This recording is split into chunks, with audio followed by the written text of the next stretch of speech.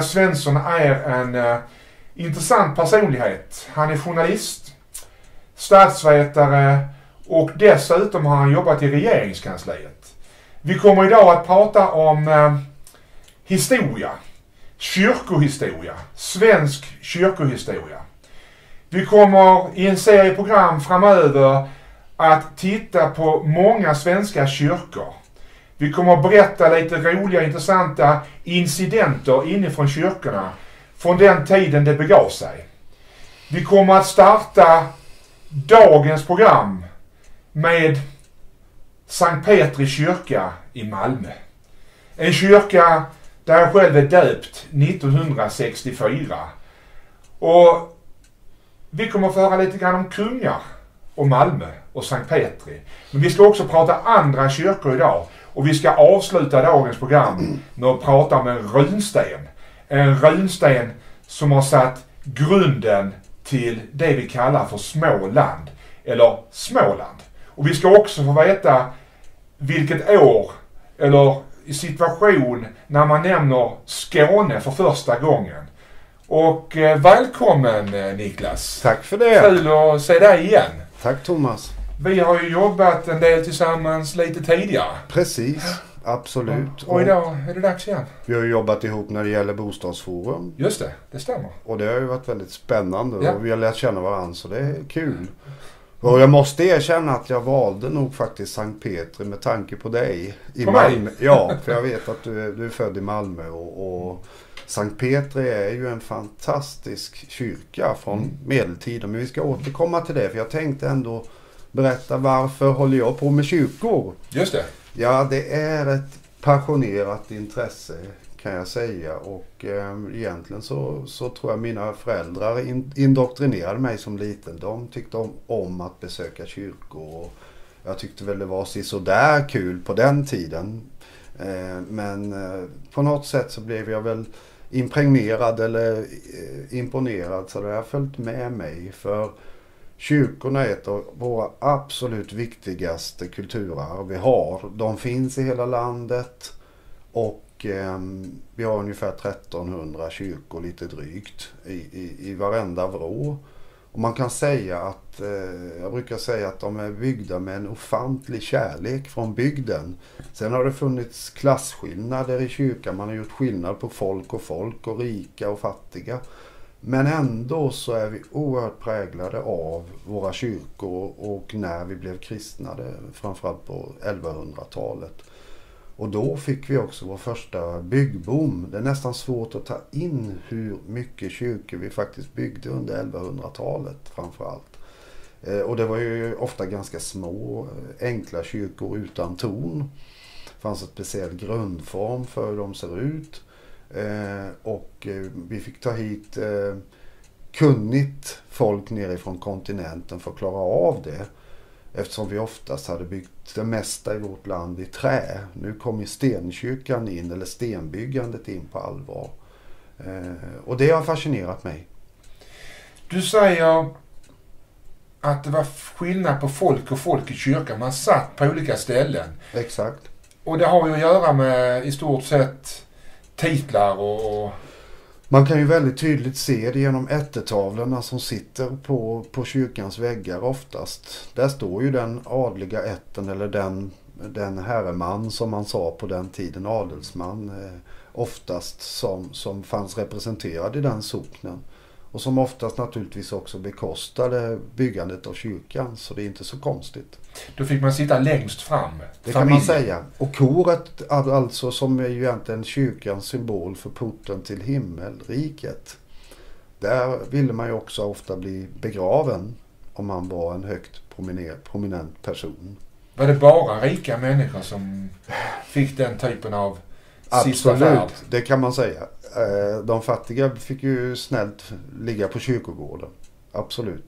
Men det är samma sak med kungar om vi tittar på kungar i svenska kyrkor. Ja.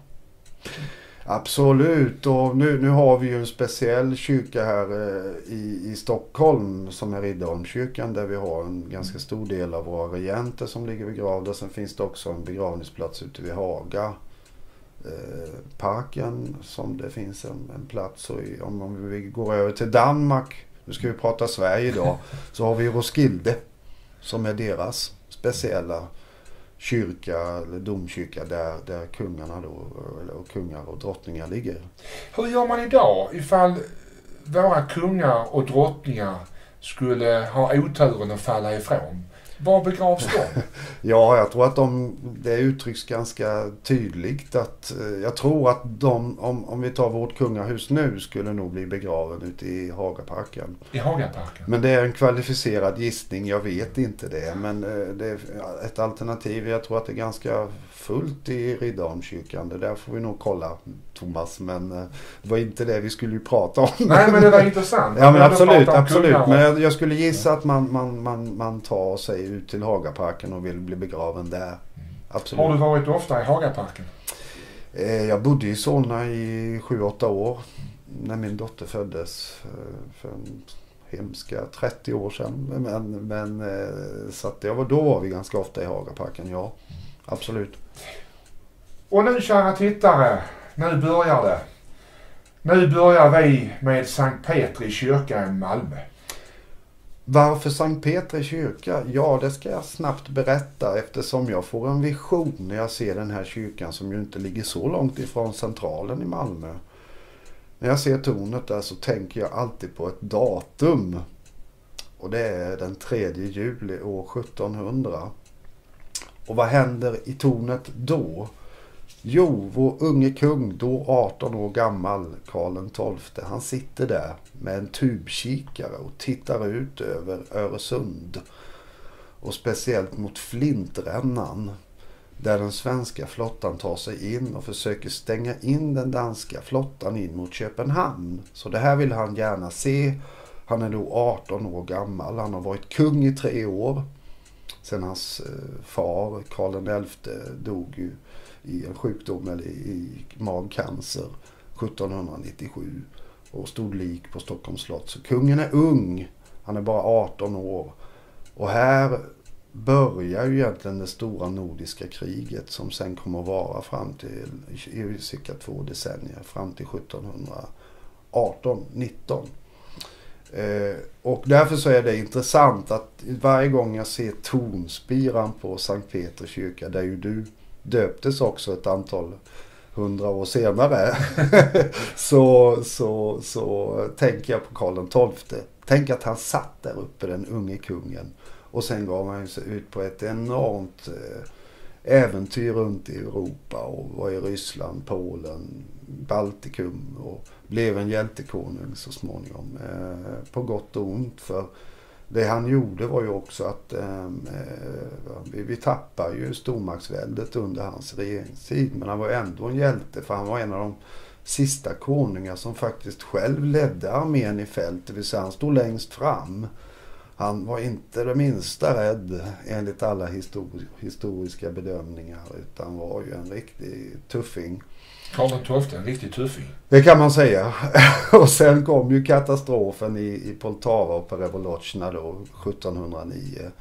Eh, då nedgången börjar. Och, eh, men Sankt Petri i Malmö är värd ett besök och tänk på att där satt han. I tornet? I tornet. Den 3 juli år 1700. Så jag kan aldrig låta bli. När jag, när jag är där så måste jag titta på den där kyrkan. Jag tycker dessutom en otroligt vacker invändigt med en vit eh, inredning. Eh, eller hur man kallar det för. Det borde vi bäst bryta. Men, men, men eh, just det att den är någorlunda bibehållen i sin struktur från den tiden också.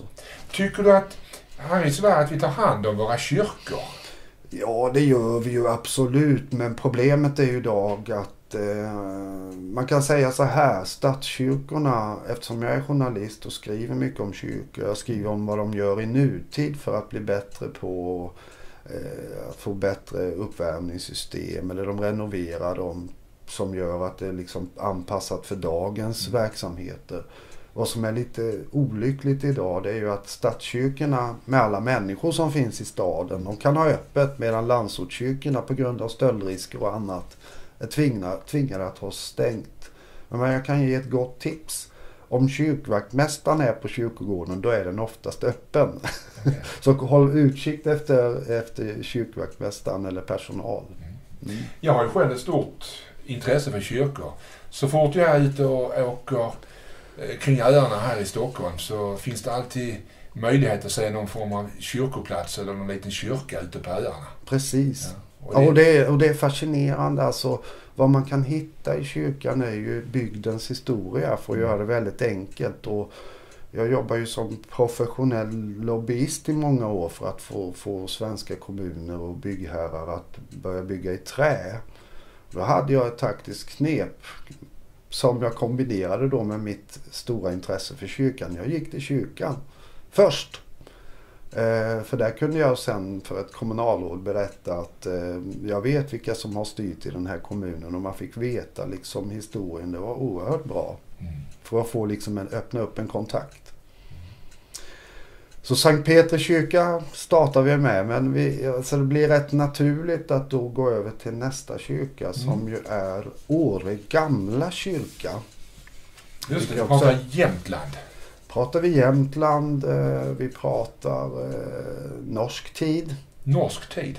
Jajamän, vi vet ju att Jämtland tillhörde Norge, eller rättare sagt också Danmark. Eftersom Norge tillhörde Danmark under väldigt lång, många hundra år så tillhörde också Jämtland per automatik eh, Danmark-Norge. Man kan ju väl säga kulturellt tillhörde det Norge. Och sen är de en eh, republik enligt, enligt sig själva? Republik i Jämtland, precis. Då, exakt va. Det är inte lika illa som Mosebacke monarki. Just det där man hade en, en, en odödlig kung som valdes på livstid.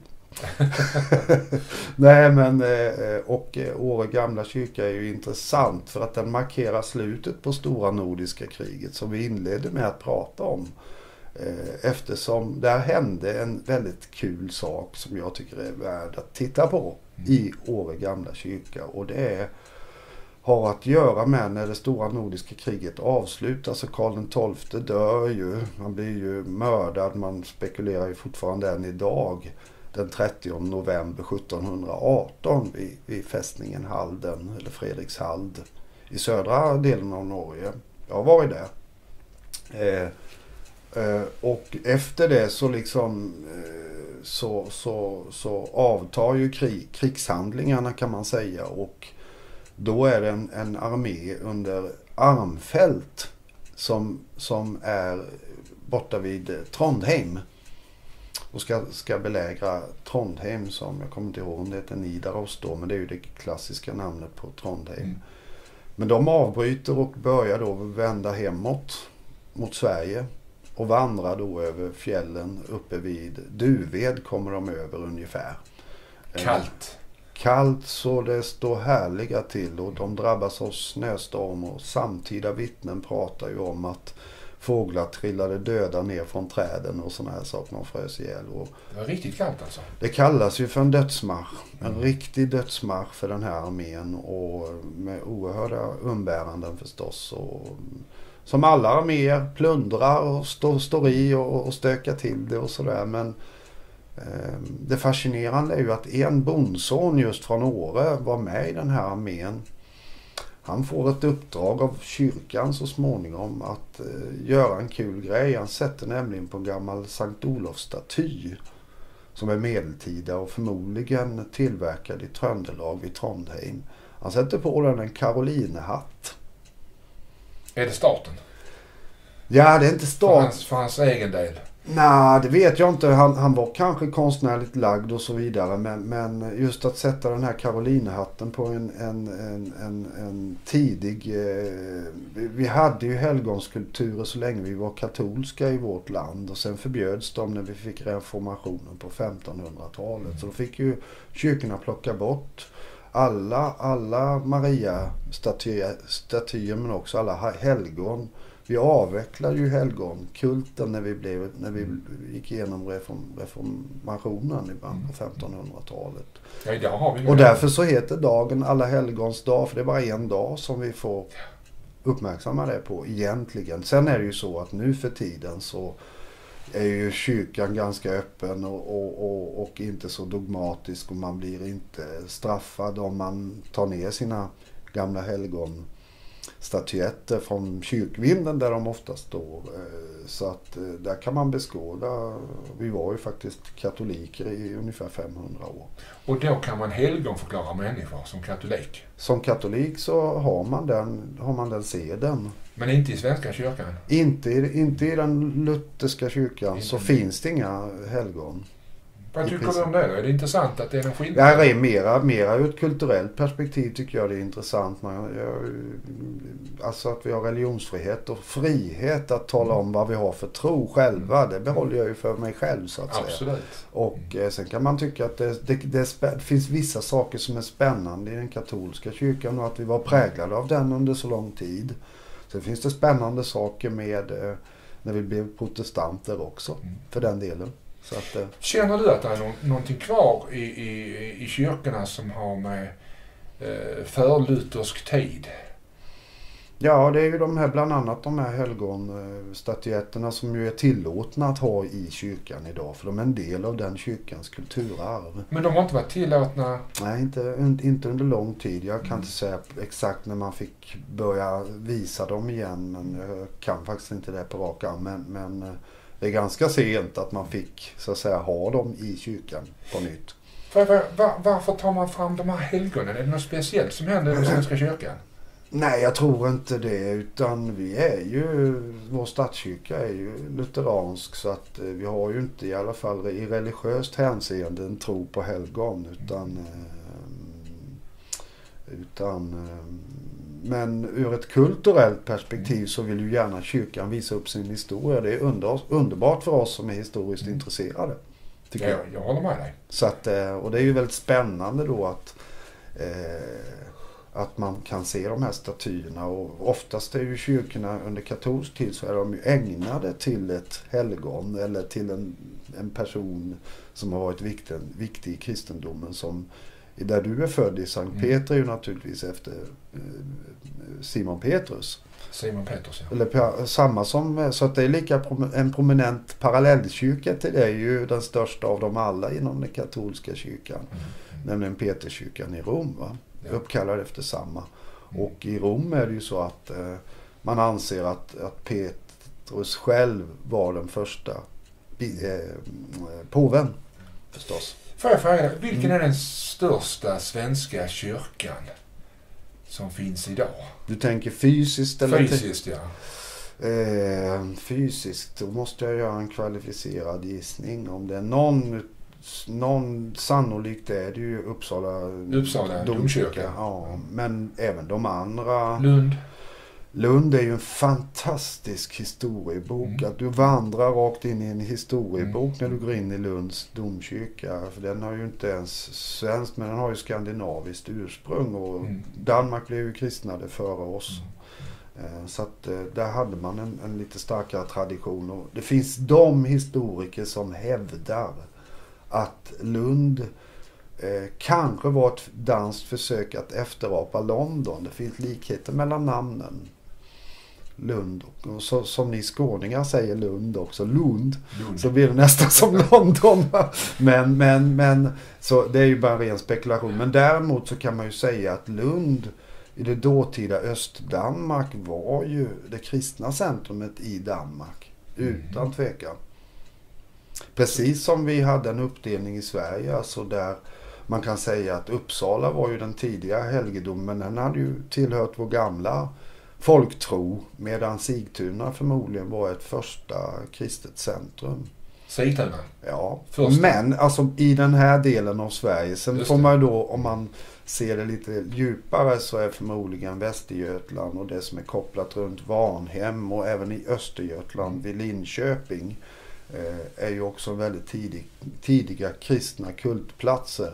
Den domkyrka i Sverige som uppger sig själv vara äldst är ju Linköpings domkyrka faktiskt från 800-talet. Och vi kommer till den i ett annat Ja, det ska vi göra. Absolut. Och nu ska vi fortsätta med en helt annan kyrka. En kyrka som jag har eh, åkt till ganska många gånger.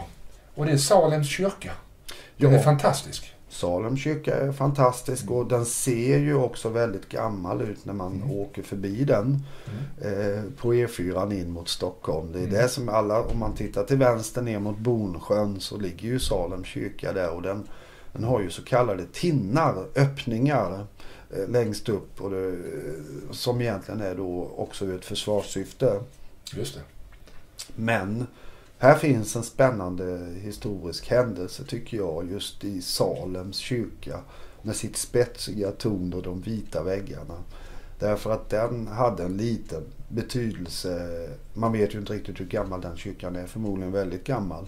Eh, eh, men just mellan 19 och 20 juni 1810 så händer något i den kyrkan. Det är nämligen så att vår döde eller avlidne tronarvinge Karl August som han hette i den svenska tronföljden om han hade blivit kung så småningom var en dansk tronföljare som man hade valt i Sverige utav riksdagen. Eh, han skulle då efterträda Gustav IV Adolf som är den enda kung som vi har avsatt. Mm. Och han var Gustav IIIs son. Avsättningen är ju väldigt omskriven i olika sammanhang. Men det handlade ju väldigt mycket om hur vi, att vi förlorade Finland till Ryssland. Den sista delen av Östersjöväldet. Eh, så han blev ju avsatt. Han blev avsatt för att vi förlorade Finland. Ja, bland annat och ansågs ju också vara väldigt svag i, sin, i sitt sätt att styra landet. Så det fanns många orsaker till det och det tänker inte jag sitta och spekulera i sig utan det är väl mer att det är bara ett konstaterande. Men vad som händer är att eh, den här danske tronföljaren faller av hästen nere på Kvidinge hed i Skåne. Det är mycket Skåne i det här programmet. Men, eh, och då gick det ut ett rykte om att, eh, att eh, Axel von Fersen som en annan väldigt spännande historisk person skulle ha legat bakom det här och hade mördat den danske tronföljaren i syfte att på något sätt skulle man ha kvar gustavianernas ättling då den äldste heter Gustav, son till Gustav IV Adolf. Han skulle ju ha blivit vår Gustav V egentligen men det fick vi ju sen in på 1900-talet istället.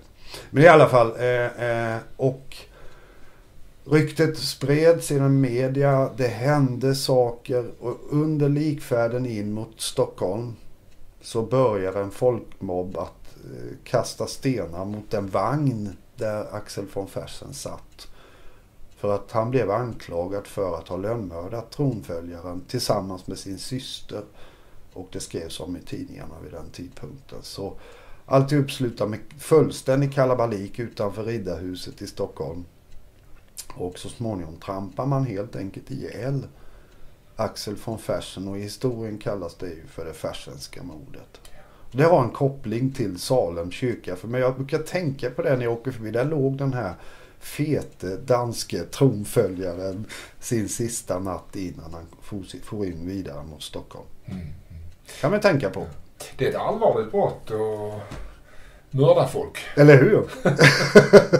det bör det väl vara i alla fall. Ja. Men då kopplar vi, och, och Salem då finns ju faktiskt också kopplad och du, eh, till nästa kyrka. Ja, den är inte så långt ifrån Botkyrka kyrka. Precis. Botkyrka kyrka som också, det är en stenkyrka. Precis. Och där man nu precis har eh, tagit beslut om att renovera taket.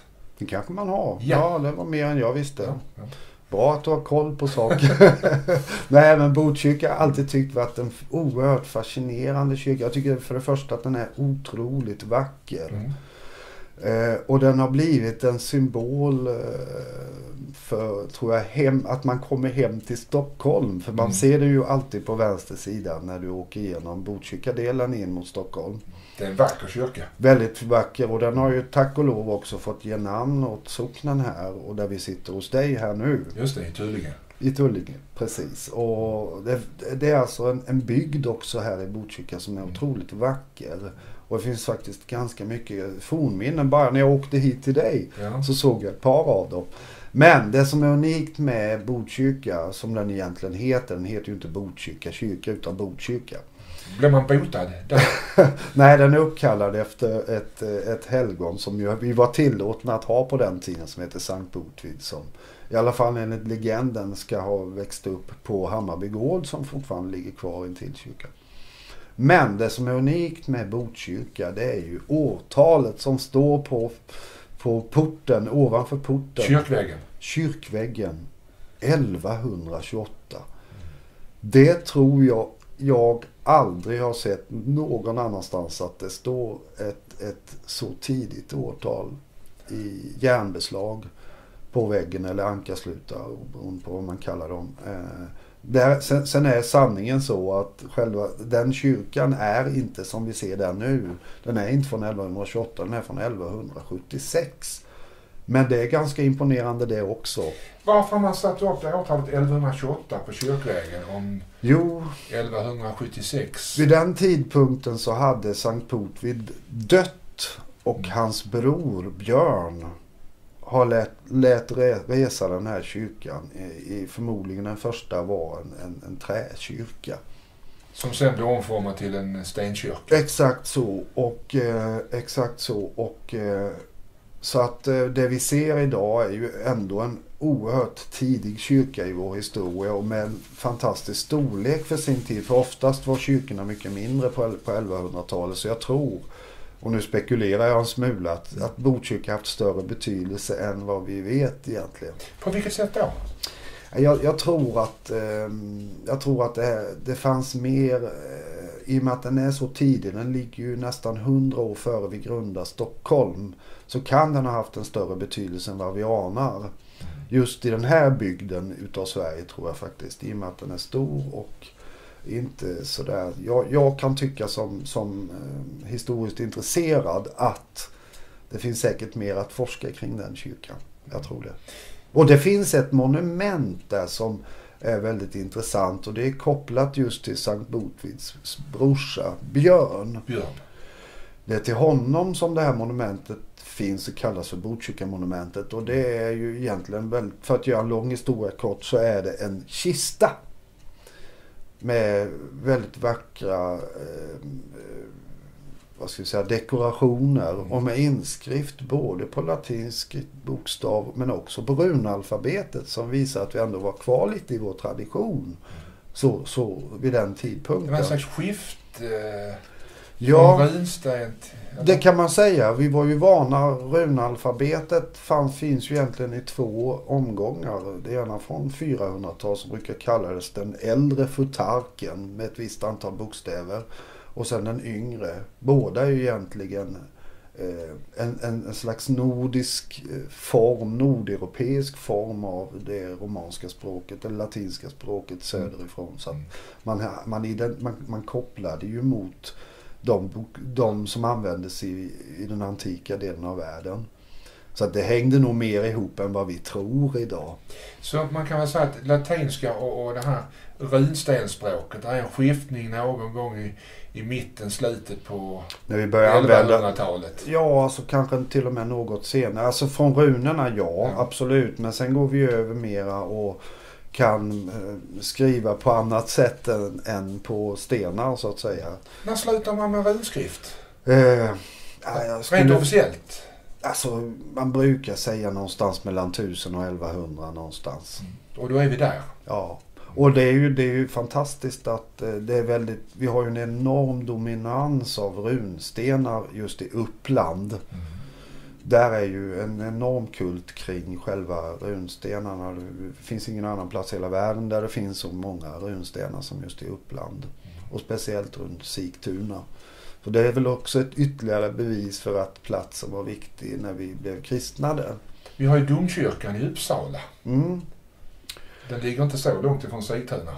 Nej, och, eh, men ändå förmodligen fanns det en kamp däremellan gissar jag. Mellan Sigtuna och Uppsala. Uppsala hade fortfarande kopplingar mot den gamla asatron. Man hade ju tempel där som var den viktigaste kultplatsen. Var är de templen? Det ligger ju där platsen för gamla Uppsala. Gamla Uppsala? Och med de här kungshögarna som är där. Just de här det, jättestora. De, de sett, ja. Exakt. Så, och man gjorde ju så när man kristnade länder att man försökte att lägga de nya kultbyggnaderna intill de gamla. För, Varför? Jo, för att eh, folk var vana vid att här var det något viktigt som hände. Så då använde man sig av det. Det är inte det att man försöker på något sätt mobilisera bort det gamla med att Ja, det är nytt. klart att det var väldigt eh, alltså, ofta är ju kristnandet ändå sanktionerat av en, en statlig övermakt. I det här fallet en kung eller liknande. Han, det. det. fanns ju politiska motiv också för att gå över till kristendomen. Mm, mm. Absolut. Eh, så att, eh, men vi har ju kvar... För att inte bli styrd av Rom eller? Eh... Ja, nej, det, ja, ja, fast det fanns ju med. Men, men eh, kristnandet, ja, nu, nu, nu lite spekulation men, men kristnandet har ju en sanktionering i sig själv av, av övermakt och eh, man talar ju om världslig makt och eh, religiös eh, vad ska vi säga, kyrkoandlig mm. överhöghet. Och det är ju naturligtvis Gud men, men eh, man har också Oftast har ju kyrkan använts för att eh, befästa makten mm. också. En del kungar har varit glada för att och, eh, ta ett och annat arv ifrån kyrkan i form av ädelstenar och, och metaller och, och, så för att kunna Absolut. finansiera krig. Precis. Eller betala tillbaka lån som lån. Gustav Vasa gjorde. Han lånade ju mycket pengar i Lübeck för att kunna nå tronen i Sverige mm. och för att betala soldater och liknande. Så att eh, han var ju stort skuldsatt till Lübeck förr i tiden. Så att det är absolut så. Så det är mycket, mycket det här arvet som har försvunnit för att betala tillbaka lån? Ja, inte bara lån utan det är väl mer att eh, det har väl alltid varit så. När vi, det var ju en, en orsak bakom reformationen. Det var ju att eh, Gustav Vasa ville ha motiv att dra in kyrkans mark till staten och kungen och kronan. Eh, som han sa. Eh, och han lät ju också riva en del av klostren och en del av helgedomarna för att bygga slott. Till exempel. Eh, men Gustav Vasa å andra sidan då, om man talar till hans fördel så var det ju han som kreerade staten, nationen Sverige. Så att eh, det finns väl för och nackdelar och det är väl bra att historikerna nu för tiden som kan föra en seriös debatt om, eh, om, om våra kungar och vad de, egentligen, vad de egentligen hade för sig. På den tiden? På den tiden det begav sig. Idag har de inte lika stor makt? Nej, det får vi väl hålla med om. Nej, våran kung, eh, det är ju Karl XVI Gustav. Han är ju den första som, som också rent formellt i, i våran grundlag inte har något eh, egentligt inflytande. Nej. Så är det. Nej. Ja, men det är en fin kung vi har. Absolut. Ja. Och med det så tänkte jag att vi ska gå över och prata lite grann från kyrkans sida och prata lite grann om runstenar. Och vi, vi ska prata lite grann om Småland. Vi ska prata tusentalet och sen kommer vi då in på varför det finns kors på runstenarna. och sen Forshedastenen. Jag tror vi Eller hur? Forshedastenen. Ja, jag vet inte varför jag fastnade för den. Det, ja. det är så här att eh, på slutet här nu, jag har ju kopplat på lite det här med, med runstenar för jag tycker det hänger liksom lite grann ihop. Och jag har tittat ganska mycket på Långhundraleden som var en gammal vikingafarled från Östersjön upp till Uppsala. Dit man ville färdas. Och den, den, den tar vägen via Trälhavet utanför Åkersberga. Och så kan man ta sig med båt upp, eller med vikingaskepp, vad man nu väljer att kalla det. Ända, hela vägen upp till vår viktigaste kultplats i Uppsala. Och på den vägen finns det också mycket runstenar och då har jag börjat titta på det. Jag skulle inte säga att jag kan läsa en runsten, för det kan jag inte. Men Forshedastenen, Forsheda är en liten ort som ligger i södra Jönköpings län. Närmare bestämt i Finnveden. Men där finns en runsten som man har daterat någonstans i, i kring 1000-1030 eller någonting. Och det intressanta med den som står där det är att den nämner platser i Sverige vilket är ganska sällsynt. Och där nämns landskapet Skåne för första gången överhuvudtaget i någon skrift, i någonstans så vitt jag vet. Det kan ha funnits i någon romersk historieskrivning också att man skrev Scania. Eh, absolut, men just på svensk mark så tror jag att det är den allra första gången. Så vi vet att Skåne hette Skåne redan vid den tiden. Och jag tänkte på dig när jag valde den där runstenen. Intressant. Eller hur? Och, och runstenar eh, var ju också på den tiden jag är rätt säker på att du kommer att lägga ut en bild på det.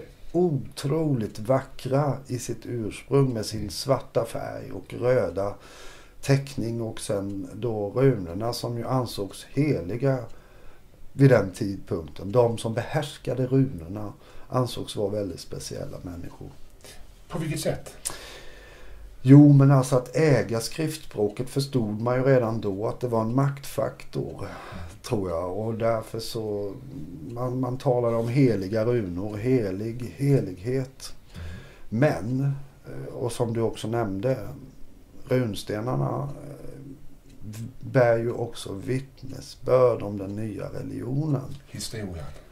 Ja, alltså korsen som vi ser på många runstenar är ju ett sätt att manifestera att man nu har gått över och tror på vite Krist som man sa på den tiden. Vite Krist? Jajamän. Så kallades han ofta. Och, och du ser ett kors och ofta avslutas ju runstenens inskrift med orden Gud hjälper hans själ. Det är alltså ett ett, eh, vad ska vi säga, en övergång markerar det till att vi nu tror på en gud och inte massor av gudar och inte Oden och Tor och Freja och så vidare. Utan vi tror på en gud. En gud. En gud. Du ska inga andra gudar hava jämte mig. Som det står i andra budet. Du kan det. Du, du har någon koll på din, din, din, att du är, du är döpt och konfirmerad antar jag. Jajamän. Härligt Thomas. Vissa delar. Jag har ju läst gamla testamentet och nya testamentet. Jag tycker ju om historia. Och, och, eh, och därför är det så kul att du kommer hit idag, Niklas. Och vi kan prata om, om kyrkor och runstenar och Och historia. historia, precis. Men jag har, har en liten fundering här. Latinet i kyrkorna. När försvinner det? Ja men det är också reformationen. Det är samtidigt. Det är Martin Luther som säger att folket ska höra det kristna budskapet på sitt eget språk. Den var intressant. Ja. Och då försvinner latinet. Så att den första bibeln i svensk historia som är skriven på svenska, där har vi en fördel till med Gustav Vasa. Mm. Det är Gustav Vasas bibel. Mm. Från 1541. Då kommer den heliga skrift på svenska för första gången. Mm. Så därför sa man ju förr i världen bland annat det här med hokus pokus. Det kommer från trosbekännelsen, rättare sagt när, när prästen i katolska kyrkan på latin säger ehm, om det är trosbekännelsen, nu får vi nästan bryta. Men eh, det är rätt intressant. Så de hörde hokus pokus. Hokumest, det är alltså ett, ett latinskt uttryck. Och det betyder att Ja, det var det jag satt och funderade på. det tar vi nästa program. Det tar vi nästa program. Jag, jag tänkte att vi pratade innan om, om, om Småland. Mm. Var kommer uttrycket Småland ifrån? Eller regionen? Jo, vi, näm vi nämnde ju ett, ett av dessa Småland, nämligen Finnveden. Just det. Som är i södra, södra eh, Jönköpings län idag Mm. skulle man kunna säga. Det finns ju ett antal eh, sådana delar i Småland. Tjustbygden, Mörebygden. Eh, inte Tjust, nu säger jag fel där. Men, men, men Tjö- eh, vi börjar om. Eh, eh, vi har Mörebygden som ligger ner mot Kalmarsund. Vi har Finnveden. Vi har Njudung som ligger ungefär där Vetlanda är. Alltså hade man, och så Värend som ligger runt Växjö. Det kallas ju för Värensvallen. Värensvallen. Fotbolls... Fotbollsarenan i, i, i Växjö. Eh, Och spelar Öster. all, alla, eh, Öster spelade absolut. Eh, Numera i en sämre division tror jag va? Superettan tror jag. Superettan kanske, ja. I alla fall, de här, just de här namnen var väl det som också förmodligen sen gjorde att vi på, på, på nationell nivå kallade det för Småland. Eller Smålanden från början kanske. Så man, man kallar de här områdena för små land. Ja, som sen- ett helt landskap som blev döpt så. Och så Små. döper man detta till Småland. Sannolikt ja. Så det är små länder Ja, som blir precis. Småland. Precis. Ja men det var en jättebra förklaring. Eller hur? Och, och det är mycket, vi kommer att prata ganska mycket historia här i fortsättningen. Niklas är väldigt beläst som historiker och vi kommer att prata både historia och kyrkor. Och kanske vi återkommer lite mer när vi, när vi tänker på runstenar, kanske annat också. Ja, precis. Som har med vår historia att göra. Absolut. Ja, och jag är jätteglad för att Niklas kom hit idag. Och eh, idag har vi tagit upp ett antal kyrkor. Salems kyrka, vi har Botkyrka kyrka, vi pratar om Sankt Petri kyrka och vi har kommit in på ämnet runstenar. Och vi har fått förklarat för oss idag eh, Skåne, när det nämns för första gången. Och att Småland har blivit Småland. Tack så mycket Niklas Tack för själv, dagens historia. Tack själv. Och eh, inom kort Så kör Så vi gör vi nya program igen. Det gör vi. Och till er där ute som sitter och tittar på det här så brukar vi avsluta med tillbaka till studion. Tack.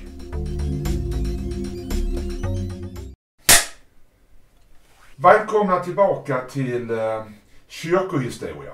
Svensk kyrkohistoria med Niklas Svensson. Niklas som eh, är journalist i botten och eh, som jag har pratat ganska många år med när det gäller svenska kyrkor. Och Niklas, det här är del två av vår gemensamma kyrkohistoria. Idag ska vi ju prata om eh, två kyrkor som är sprängda nere i Kalmar. Jajamän. Och sen ska vi också prata om två andra kyrkor. Främst eh, Hedvig Eleonora kyrka i Stockholm. Och där kommer vi att prata om någonting som väger nästan fem ton. Stämmer bra det. Ett krigsbyte. Ett krigsbyte. Ja. Och sen kommer vi att prata om en runsten nerifrån eh, Linköping. Och eh, sen avslutar vi med eh, en annan kyrka som vi tror har funnits. Vi gissar att den har funnits. Absolut. Det här blir en spännande eftermiddag. Spännande eftermiddag. Absolut. Annorlunda eftermiddag. Annorlunda. Ja. Men vi älskar ju våra kyrkor. De, Ja. de står för något väldigt väsentligt. Det är ju ett gigantiskt kulturarv vi har runt om i landet. Och oftast så passerar vi kyrkor utan att tänka på Mm. att de finns och vad de står för. Och ofta har alla, alla kyrkor har sin historia och det är det som gör dem så intressanta. Sen är kanske vissa kyrkor mer intressanta än andra. Eh, Men jag tänkte eh, att vi skulle börja i Småland och på Öland faktiskt. Vi börjar i Småland Jajamän. och Öland. Och där jag är född då i- i Kalmar län. Och eh, residensstaden Kalmar självt tänkte jag vi skulle prata om eftersom det är ju så här att Kalmar har flyttats i slutet av eh, 1600-talet. Från att ha funnits precis där slottet ligger idag, det vackra, fantastiska slottet som egentligen fick sitt nuvarande utseende under Johan III, en av Gustav Vasas söner. Men, eh, men, och Kalmar hade också en stor stadskyrka som hade byggts ungefär i mitten på 1200-talet. Den finns, man gissar hur den såg ut. Den finns i, vad ska vi säga, en skisser som man tror. Och den var ganska stor och mäktig. Men eftersom eh, slottet i Kalmar var en viktig gränspostering för det svenska riket, framförallt mot Danmark förstås, så var det ofta krig. Det var nästan alltid krig mot Det var nästan alltid krig och speciellt under 1500-talet. Jag tror att det bara är något fåtal år på 1500-talet som slottet och Kalmar inte var involverat i någon form av belägring, krig, anfall, eh, stormning, vad du vill. Så till slut så tröttnade överheten och nu sa att nu, och även Kalmarborna förstås var väldigt trötta på alla krig och umbäranden. Så nu, då bestämde man sig för att flytta staden in till Kvarnholmen där den fortfarande har sitt centrum idag och bakom befästa murar. Och det kan ju vem som helst som besöker Kalmar också se att det är en stora ringmurar kring staden än idag. Eh, Är det som på Gotland? eh, det kan man ju säga. Nu är det kanske inte lika gediget runt Kalmar, men nästintill. Mm. Eh, Man tänker inte, man, man talar inte så mycket om Kalmar ringmur, men den är ju faktiskt nästan, eh, den är ju också väldigt sevärd tycker jag. Eh, Byggd betydligt senare än, än Visby naturligtvis också, men, men Men det var också danskar som var slogs på Gotland. Jajamensan. Vi har slagit med Dan- Danmark eh, mestadels i vår historia. Man skulle ju kunna kalla Danmark för en arvfiende och vi har ju till och med lytt under den danska kronan under en period. Den som också Kristian. kallas Kalmarunionen som bär namn på, efter Kalmar. Men eh, just att man då ville flytta staden gjorde att man monterade ner den gamla stadskyrkan och slutligen sprängde den i luften 1678. Man har sprängt en kyrka. Jajamän, och platsen finns kvar och man kan se lite gravstenar och, och annat som markerar var den här stadskyrkan då en gång låg. Och det är rätt fascinerande att, se den här platsen. Och liksom föreställa sig att vi kan prata om kyrkor som inte idag existerar. Det tycker jag är coolt. För det, det, fanns ju ett problem till med en stor kyrka. Det var ju att fienden kunde naturligtvis ta skydd bakom den kyrkan medan man försökte inta slottet. Så det där var en ständig källa till oro. Så man ville ha fritt spelrum framför slottet så att man såg fienden. Är detta kungen som har... Sannolikt ja. Och även, även naturligtvis befolkningen och de som styrde i Kalmar ansåg att nu var det dags att flytta staden in bakom befästa murar för att skydda Kalmarborna och också eh, på ett mer effektivt sätt ha ett försvar utav, utav slottet som var en viktig gränsbefästning. Eh, så. så att 1678 så spränger man kyrkan i Kalmar, den gamla stadskyrkan. Så jag tycker det är väl värt ett besök. Det finns ju fortfarande bebyggelse idag vid Kalmar eh, slott en bit ifrån. Så att Ehm, de här riktigt låga trähusen från den gamla tiden, de finns fortfarande kvar att se. Men det är väl värt ett besök och det man kan säga också att det här var ju välplanerat. Därför att man samtidigt som man spränger kyrkan 1678 så håller man också på att bygga nya domkyrkan inne på Kvarnholmen. Och den invigs 1682 och är ritad av Nicodemus Tessin den äldre som också gjorde, var arkitekten bakom Stockholms slott. Så det här var riksintressen inblandade. Två kyrkor? Jajamän. Så det var en kyrka som, som då ersatte. Och det är ju också så då att Kalmar, att man fick en domkyrka hängde ihop med att Kalmar var också ett eget stift. Från början av 1600-talet till 1915. Eh, då man eh, åter gick upp i Växjö stift som ju dom, har domkyrka idag som är gällande. Men Kalmar har fortfarande en väldigt, väldigt vacker domkyrka i barockstil som eh, ritades av Tessin. Då. Hur ofta har du varit i kyrkan?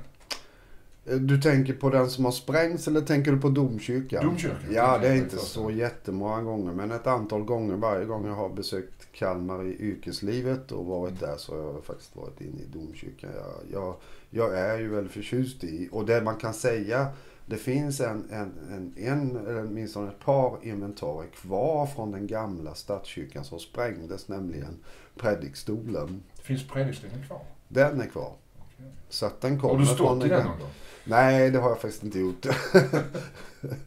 Nej, det har jag inte gjort. Men, skulle att se en bild på dig i den. Ja, eller hur? Vi får se om vi kan hitta något montage på något klokt sätt. Du brukar ju fixa sånt där, Thomas.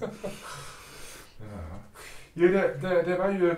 Och vi har ju en Ölandsbro som förbinder Öland med Kalmar. Sen 1972. Ja.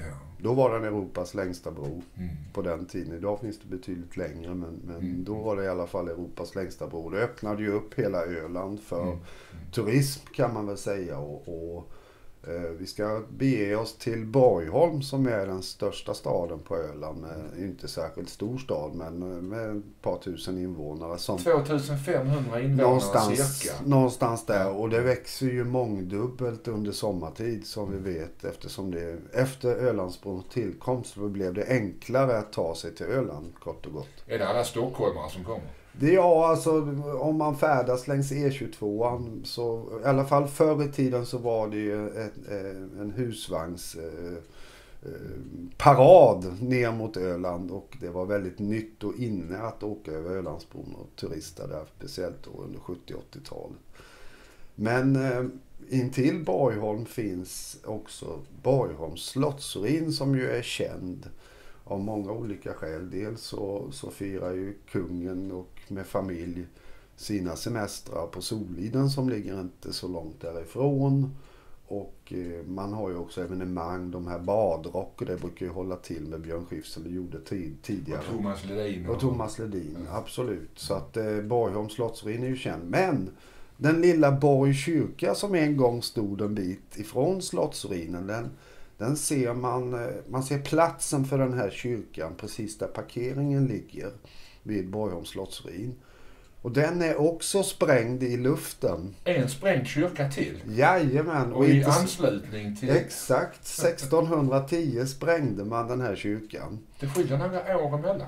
Ja, alltså detta är ju 70 år tidigare så den första sprängningen är ju faktiskt på Öland och, och min kvalificerade gissning utan att ha gjort några jättestudier kring det för jag är mest intresserad av kyrkorna, hur de, hur de funkar idag och inte är icke-existerande. Men det är ju att detta är ju något år bara före Kalmarkriget drar igång 1611 och som tar slut sen två år senare med freden i Knäred 1613. Och det kriget vinner Danmark så man är ju väldigt starka fortfarande med sin, för, med sin krigsmakt. Men engelsmän och holländare håller tillbaka så att inte Danmark tar för mycket av Norden på nytt. Eh, så man spränger kyrkan, Borgs kyrka, 1610 för att inte fienden ska kunna gömma sig där bakom. Och, Återigen. återigen så handlar det om krig. Ja. Så det är lite spännande. Det är fantastiskt. Och det som är fantastiskt på platsen det är ju att du kan se konturen av koret. Du kan se konturen av det här långhuset då som en gång var byggt. Och församlingen här var förmodligen ans, dels de som bodde i det dåtida Borgholm som kanske inte var särskilt stort. Eh, men också de som bodde in- intill slottet. Slottet hade ju ett helt eh, ett helt, eh, vad ska vi säga, nästan en liten stad av hantverkare, droskuskar, kuskar, tjänare av alla dess slag och försvarare förstås. Man hade säkert en garnison, det vill säga en befäst, eller en, en, en trupp på plats som fanns där för att skydda, skydda slottet. Men man sprängde kyrkan 1610. Och det intressanta sen då är ju att eh, Borgholms slott blev ju egentligen aldrig återuppbyggt efter bränder och belägringar. Så att i slutet på, eh, eller under 1700 och 1800-talet så då fick ju hela den anläggningen förfalla och därför har vi bara en ruin där idag. Så att det är historien bakom två sprängda kyrkor i Småland och på Öland. Två sprängda kyrkor. Jajamän, som inte existerar men som man kan drömma om hur de kanske en gång såg ut och hur de fungerar i sin omgivning.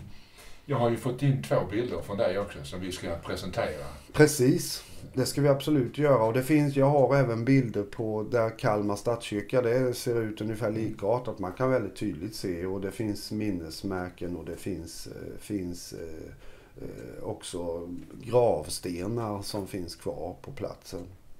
Så att det här har ju en gång varit helig mark så att det är klart att man värnar de här eh, eh, platserna där de här kyrkorna en gång stod. Om man tittar på de här platserna idag, gör kyrkan någonting för att verkligen visa att det här är helig mark? Ja, alltså... mm, Eller på något sätt? De är markerade på så sätt att för Borg kyrka utanför Borgholms slottsruin, där finns ringmuren kvar. Men sen har man också ställt upp en, en minnesplatta förstås. Mm. På båda de här ställena där man kan läsa om kyrkans historia och även se hur, hur den var belägen. Man har ritningar och liknande. Så absolut, men man skulle kunna göra ännu mer kanske. För det är ju spännande när man en gång har bestämt sig för att spränga en kyrka. Eh, Med förmodligen en jäkla smäll som Dynamit-Harry hade sagt. Det kan jag tänka mig. Men det, då har man sprängt det här med dynamit? Eller hur? Ja, det fanns ett, annat. dynamit Nej, uppfanns ju på 1800-talet utav Nobel och gjorde honom rik. Så Ja, vad har man sprängt detta med? Ja, förmodligen krut, svartkrut Svartkrut. eller någonting. eh, Svårt att svara på. Jag är inte sprängexpert. Nej, nej, nej. Men, men, men du, du, du kan ju det här. Du vet ju om att det är sprängt. Men det som är fantastiskt med Nobels uppfinning dynamit, om vi ska ta en liten Mm. parentes, det var ju att du fick en möjlighet att kontrollera sprängverkan. Mm. Du kunde transportera dynamit utan att det var farligt. Innan använde man nitroglycerin eller Och det krut. lite grann. Och det kunde smälla under färden. Mm. Så att det, var, det var en fantastisk uppfinning med dynamit. Och Mm. Man kan se på våra, våra åkrar runt om i landet att tidigare hade man stora stenar som man inte kunde göra sig av med. Mm. Med dynamit kunde du spränga dem och få, få bättre jordbruksyta helt enkelt. Så det är också fascinerande historia. Så. Och, och innan dess var det lite problem. Ja, det var det klart. Och smålänningar inte minst som jag kom där som, som bar sten åt alla möjliga håll. Det, det var känt elände. Absolut. Jag kommer att tänka på den här utvandraren här. gamla tv-serien. Absolut. Och det är ju mycket, eh, vad ska man säga, obrukbar mark. Alltså det är ju en fascinerande scen där Karl-Oskar försöker gå ut med ett spett och bryta upp ny mark. Och allt han träffar med det här spettet är ju pang, säger du. Det är bara sten överallt. Så han kände sig som kungen i stenrike och affärerna gick bara bakåt. Mm. För hans far hade brutit upp all mark. Så därför blev det ett naturligt steg att flytta över till, till Amerika för en del Mm. av de här människorna förstås. Och vi fick ju en överbefolkning eh, på 1800-talet och, och det fanns helt enkelt inte jordbruksmark till alla. Så att egentligen, det intressanta med, med Carl, eh, Vilhelm Mobergs Utvandrarna det är ju att han visar ju att de här människorna ville ju egentligen leva samma liv där borta som här. Eh, Men där borta hade man bättre möjligheter genom att man fick, man hade möjlighet att få jordbruksmark i, i Nordamerika. Mm. Och de som åkte över hade väl sparat lite pengar oftast. Så man kunde Eh, köpa sig lite mark. Just- inte just- alla kanske, men eh, Just när Karl-Oskar och Kristina far över så kostar ju överfarten cirka 200 riksdaler och det var ganska mycket pengar. hur mycket är det idag? Ja, det Om vi är ska väldigt, gissa. väldigt svårt att säga men säkert 10-20 tusen minst. Minst, förmodligen mer. Mm. Så att det var ju bra mycket pengar som det kostade. Sen blev det betydligt billigare när de stora eh, rederierna tog fatt i den här affärsidén. Mm. Då kostade det mindre och då kom också folk tillbaka lite oftare och besökte till exempel Sverige. Kom hem till mor och far kanske? Ja, absolut. Och visade speciellt, de, de hade väl en tendens att komma tillbaka som det hade gått bra för. De som det gick sämre det. för, de, åkte, de stannar nog kvar. Inga pengar, kunde inte åka hem. Eller hur? Men det brukar vara så. Det, det krävs ju en del pengar för eh, Man Absolut. måste lyckas. Men det som, och vi kanske får anledning att återkomma till emigrationen. Det är den största folkomflyttning som har skett från våra trakter i Mm. världen. Alltså Mm. nästan 1,3 miljoner svenskar beger sig till Nordamerika. Det är alltså nästan en fjärdedel av befolkningen mellan 1850 till 1930. De tar med sig lite grann utav det religiösa, kyrkans eh, verksamhet. Absolut, men, men Amerika hade ju religionsfrihet redan Ja. i sin grundlag och det gjorde att man hade rätt att utöva den på gott och ont. Oavsett vilken. Det kan man säga. Ja. Och vi hade ju inte det. Vi hade ju något som hette konventikelplakatet från Just det. 1726 och det betydde att statskyrkan var det som gällde. Du fick inte eh, ha någon form av professionell predikan i ditt hem. Det betyder konventikelplakat. Så Och det, har vi sett i filmen också. det ser vi med Allan Edwall spelar ju en, en, en, en sådan som vill läsa, alltså en läsare kallades de ju Mm. för. De blev ju dömda och till slut så eh, kunde man döma dem till utvisning, alltså Mm. att de fick lämna landet. Och det hände med honom just i den, i den eh, romanen av Vilhelm Moberg. Just det. Jajamän. Nu har vi varit nere i Småland, vi har varit nere i Kalmar, vi har varit på Öland lite grann. Precis. Ska vi försöka ta oss upp till Stockholm? Ja, jag tänkte det, för det är en spännande historia om en speciell kyrka i Stockholm som heter Hedvig Eleonora. Mm. Den är invigd år 1737. Egentligen ville man bygga den redan på, i mitten på 1600-talet för det saknades en församlingskyrka i den delen av Stockholm. Östermalm någonstans Ja, exakt. Mm. Och, eh, den ritades av Charles de, la Vallée som också har ritat eh, Riddarhuset Just det, det i Stockholm. Eh, och, men den blev färdig först 1737. mm. Men, och den kyrkan är ju, är ju väldigt vacker, väldigt fin.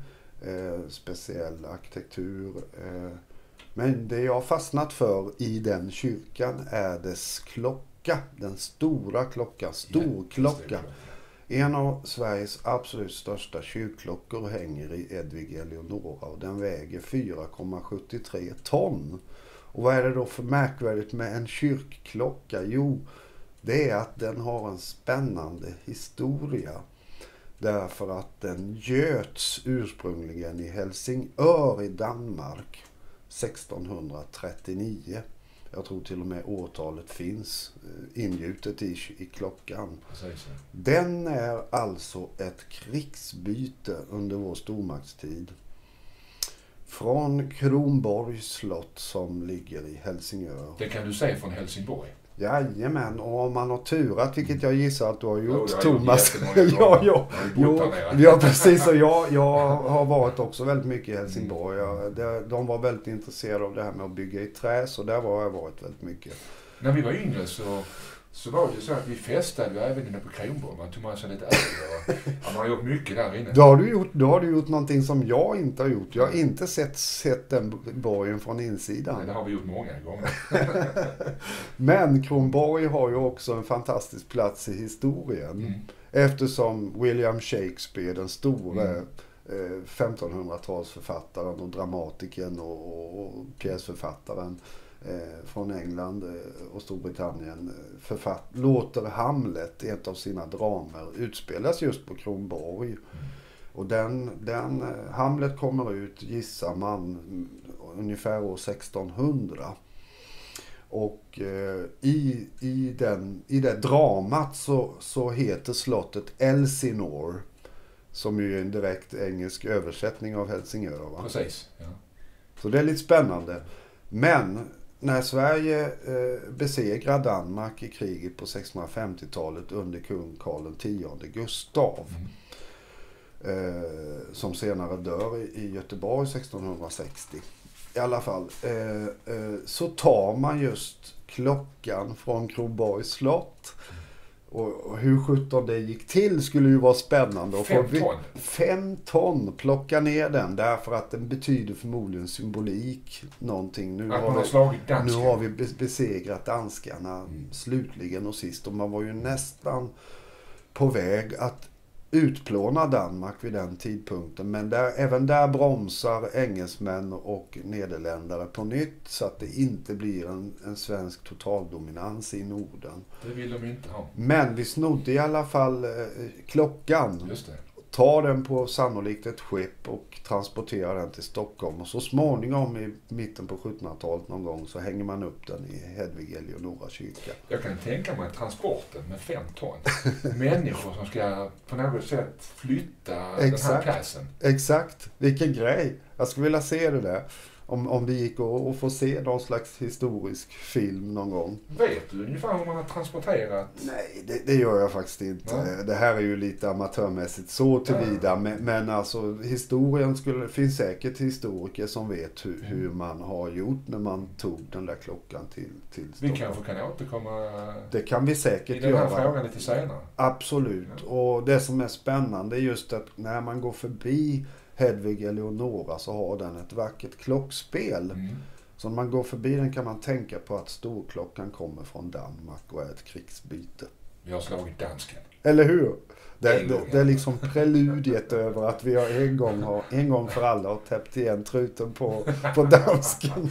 Men sen har dans, danskarna har varit inne i Gamla stan och hittat på en massa dumheter också. Jajamensan. Slagit ihjäl en massa... Nej men vi hade ju danskar eh, under, som, som, eh, under Christian Tyrann som vi kallar dem. Just det, som ja. hette Christian den gode i Den gode i Danmark. Danmark och den gode här i Sverige. ja. Men med Stockholms blodbad och så vidare. Oh ja. Ungefär hundra adelspersoner i Sverige blev mördade på Stortorget i Gamla stan. Det har nog inte varit speciellt skoj. Det var inte speciellt skoj, men det markerade ju också avslutningen för den danska dominansen Mm. utav Norden kan man säga. När sen Gustav Vasa då eh, tar över tronen 1523 definitivt och han Mm. kröns i Strängnäs domkyrka. Ja, Strängnäs. Har du varit i den domkyrkan? I Strängnäs? Ja. Jajamän, där har jag varit många gånger eftersom jag har fritidshus borta i Torshälla utanför Eskilstuna så passerar man ju Strängnäs på Får du vägen. åka dit ofta? Ja, den är fin faktiskt. Och den är ju en av få, en av våra som, som inte har två torn, precis som Linköping. Det var intressant. Eller hur? Ja. Och nu är det dags att prata om någonting. Vi ska tillbaka i tiden ytterligare. Vi ska, Röksten. ja, vi brukar ju ha, vi började ju första avsnittet med att ha en runsten med. Och jag tycker att det kan vara en kul grej att plocka in när vi Ja. kör de här kyrkorna för att bryta av lite. Det blir ju mycket kyrkoprat men Just det. Den här gången ska vi prata om, som, som så vitt jag kan bedöma, vår allra, allra viktigaste runsten, nämligen rökstenen som ligger vid, vid, i Rök socken i, strax intill E4. Den ligger inte i Linköping utan den ligger en bit därifrån. Östergötland. Östergötland, absolut. Eh, och in in mer mot Vättern ligger den. Och på en plats som... eh, Och den har stått där sedan 800-talets början. Så det är en väldigt tidig runsten men också väldigt stor. Och det som är unikt med rökstenen är att det finns skrift, runinsskrift på alla, alla sidor. Till och med på toppen av, av På stenen. stenen. Jajamän. Ett budskap är riktat mot Utåt. högre makt, sannolikt. Och det har de precis blivit lite kristnade. Eh, sannolikt. Och den som verkligen kan den här historien, han är en östgötsk kille som heter Fredrik Osbäck. Som nu under 20, 21 och 22 har presenterat det här i en film på, som jag gärna gör propaganda för, lite PR för, som heter Stenen som gick upp i rök. Stenen som gick upp i rök finns på Youtube. Finns på Youtube ett antal klipp men man kan också se filmen i sin helhet. Därför att det som är unikt med rökstenen från tidigt 800-tal det är att ingen har kommit med en sannolik eller trolig tolkning av vad det står. Det är alltså världens längsta rudinskrift på en sten som finns i hela världen. Och eh, den är, man har sagt att den har lönnrunor, det vill säga sådana som vi inte exakt vet vad betydelsen är. Men Fredrik Osbeck har gjort en tolkning av stenen som innebär att rökstenen kommer att klassas, tror jag, som vår absolut viktigaste historiska, historiska föremål överhuvudtaget. För hans tolkning säger att Sverige, eller Svea rike som det hette, var enat redan i början på 800-talet under en kung. Och eh, det han också säger i sin tolkning det är att nattvarden finns beskriven på rökstenen. Redan då. Ja. Och han säger också att man talar om nio mansåldrar sedan en viss viktig person dog, nämligen Jesus. Man säger nio mansåldrar, nio gånger 80 år. Det blir då 720 år tillbaka i tiden, kanske något längre till och med. Och då passar det ju väldigt bra i tiden. Mm. Början av 800-talet och nästan tillbaka till ungefär då Jesu, Jesu död inträffar. Och det innebär att, och det här kommer till, vad, vad, vad är rökstenens grundbudskap enligt Fredrik Osbeck? Jo, att Östergötland ska organiseras på ett nytt sätt. För vad som har hänt här det är att de kontinentala stormakterna nere i Europa har börjat föra handel upp i Östersjön. Och det innebär att man måste vara enade i Sveariket. Och kanske har det skett flera hundra år tidigare än så. Men för att då kunna organisera den här handeln, få in så mycket inkomster Mm. till riket som Skatt möjligt. Så måste man lyda under en konung. Så Rökstenen berättar om hur organiserar vi den här delen av Sveariket, nämligen Östergötland, i olika härader och bon som han sa. För det fanns redan delar i riket som var organiserade på det sättet. Västergötland och Uppland, Södermanland. Eh, Så att det var ett... Det är alltså, Rökstenen är en form av nationellt politiskt dok, eh, protokoll. Ett slags Protokoll. Mm. Hur man ska göra. Plus att det, det bär, bär buds, vittnesbörd om att kristendomen, som ju redan sedan flera hundra år finns nere på kontinenten, bland annat i Frankrike som var en viktig eh, stormakt på den tiden, eh, är ju kristet. Och då är det ganska lämpligt att också vi blir det. Om, om inte av att vi tror kanske, utan Praktiskt. affärsmässiga skäl. Ehm, och att vi skulle bli mer trovärdiga som, som nation och, och, och så. Och det, då finns det en kung som vi har lärt oss alla svenskar om i våra historieböcker. Och, det är kung Björn på Birka. Just det, Sveg. Birka. Precis, mitt i Mälaren så, så fanns ju Birka vid den här tidpunkten och var en viktig handelsplats. Det här var centrum för där man så att säga organiserade, administrerade den här stora Östersjöhandeln. Det är ju den troliga förklaringen. Och kung Björn tar emot det som kallas Nordens apostel, Anska, som vi har lärt oss om i historieböckerna, ungefär 830 för att få höra missionen om det kristna. Men det som man kan gissa då utifrån eh, rökstenens som är från tidigt 800-tal. Det är ju Ungefär samtidigt. ungefär samtidigt, kanske till och med några årtionden tidigare. Tidigare. Så är vi på gång redan då och den här kung Björn som är kung över hela Sveariket, även Östergötland, försöker att införa kristendomen. Det står i historieböckerna att han aldrig blev kristen. Det skulle jag nog inte vilja skriva under på. Jag tror att han, kanske inte trosmässigt men rent praktiskt, försöker att införa detta i Svea rike. Och då kommer vi till nästa ganska kvalificerade gissning. Just Och det här har ingenting med vad Fredrik Osbeck har presenterat om vad det gäller rökstenen. Men jag kan gissa att han kanske kommer med en sån eh, gissning. För det här är verkligen en gissning från, från, som blir i vårt program, Thomas, om det här. Kan det vara så att det är ju nämligen så att inne i Linköpings domkyrka finns en minnesplatta som beskriver på latin hur kyrkans historia ser ut. Och den inleds med att konstatera att första kyrkan grundas år 813 av kung Björn den tredje. Det kan vem som helst läsa. 813. 813 av kung Björn den tredje. Då är frågan, är det samma som Sveakungen som satt på Birka? Och han satt inte förresten inte på Birka utan på Alsnö intill där man har en kungsgård sannolikt. Eh, är det samma person eller samma kung? Och det, det skulle jag ju vilja påstå att det är. Du påstår det? Ja, Ja. eftersom vi kan, om vi, om vi, man kan ju välja att tro eller man kan välja att inte tro. Jag väljer att tro på Fredrik Osbecks tolkning av rökstenen som jag finner tar in alla delar på den här rökstenen, dess text, budskap, lönnrunor och allting. Och om det är så att kung Björn finns som kung över hela Sveariket inklusive Östergötland, då får vi skriva om hela vår historia. Då får vi skriva om. För a- I alla historieböcker står det att vi blir kristna å- ungefär år 1000 genom att Olof Skötkonung blir döpt vid Husaby kyrka i Västergötland, Västra Götaland. Men då får vi dra historien tillbaka 200 år. Och förmodligen då så grundas en kyrka redan i början på 800-talet i Linköping. På samma plats där domkyrkan står idag.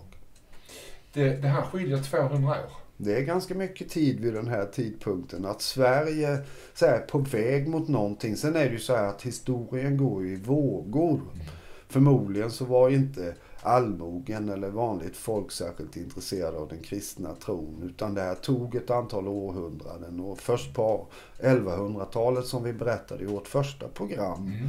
så börjar man ju bygga kyrkor över hela riket. Då blir Sverige kristna mer i praktiken. Men det är ändå intressant att konstatera att den kristna tron hade man kunskap om och det hade man naturligtvis långt tidigare eftersom eh, man så kallade väringar eller vikingar eller nordbor till och med var nere i Konstantinopel och, och jobbade som en slags livgarde åt kejsaren Plus för flera hundra år, år tidigare. Så att det är klart att vi hade kunskap om kristendom och Jesus och så vidare. Långt, långt, långt tidigare. Men vi behöll ju vår asatro en bra bit till så att säga bland vanligt folk. Det kanske var där det- asatron försvinner någon gång Ja, 1000-talet. någonstans.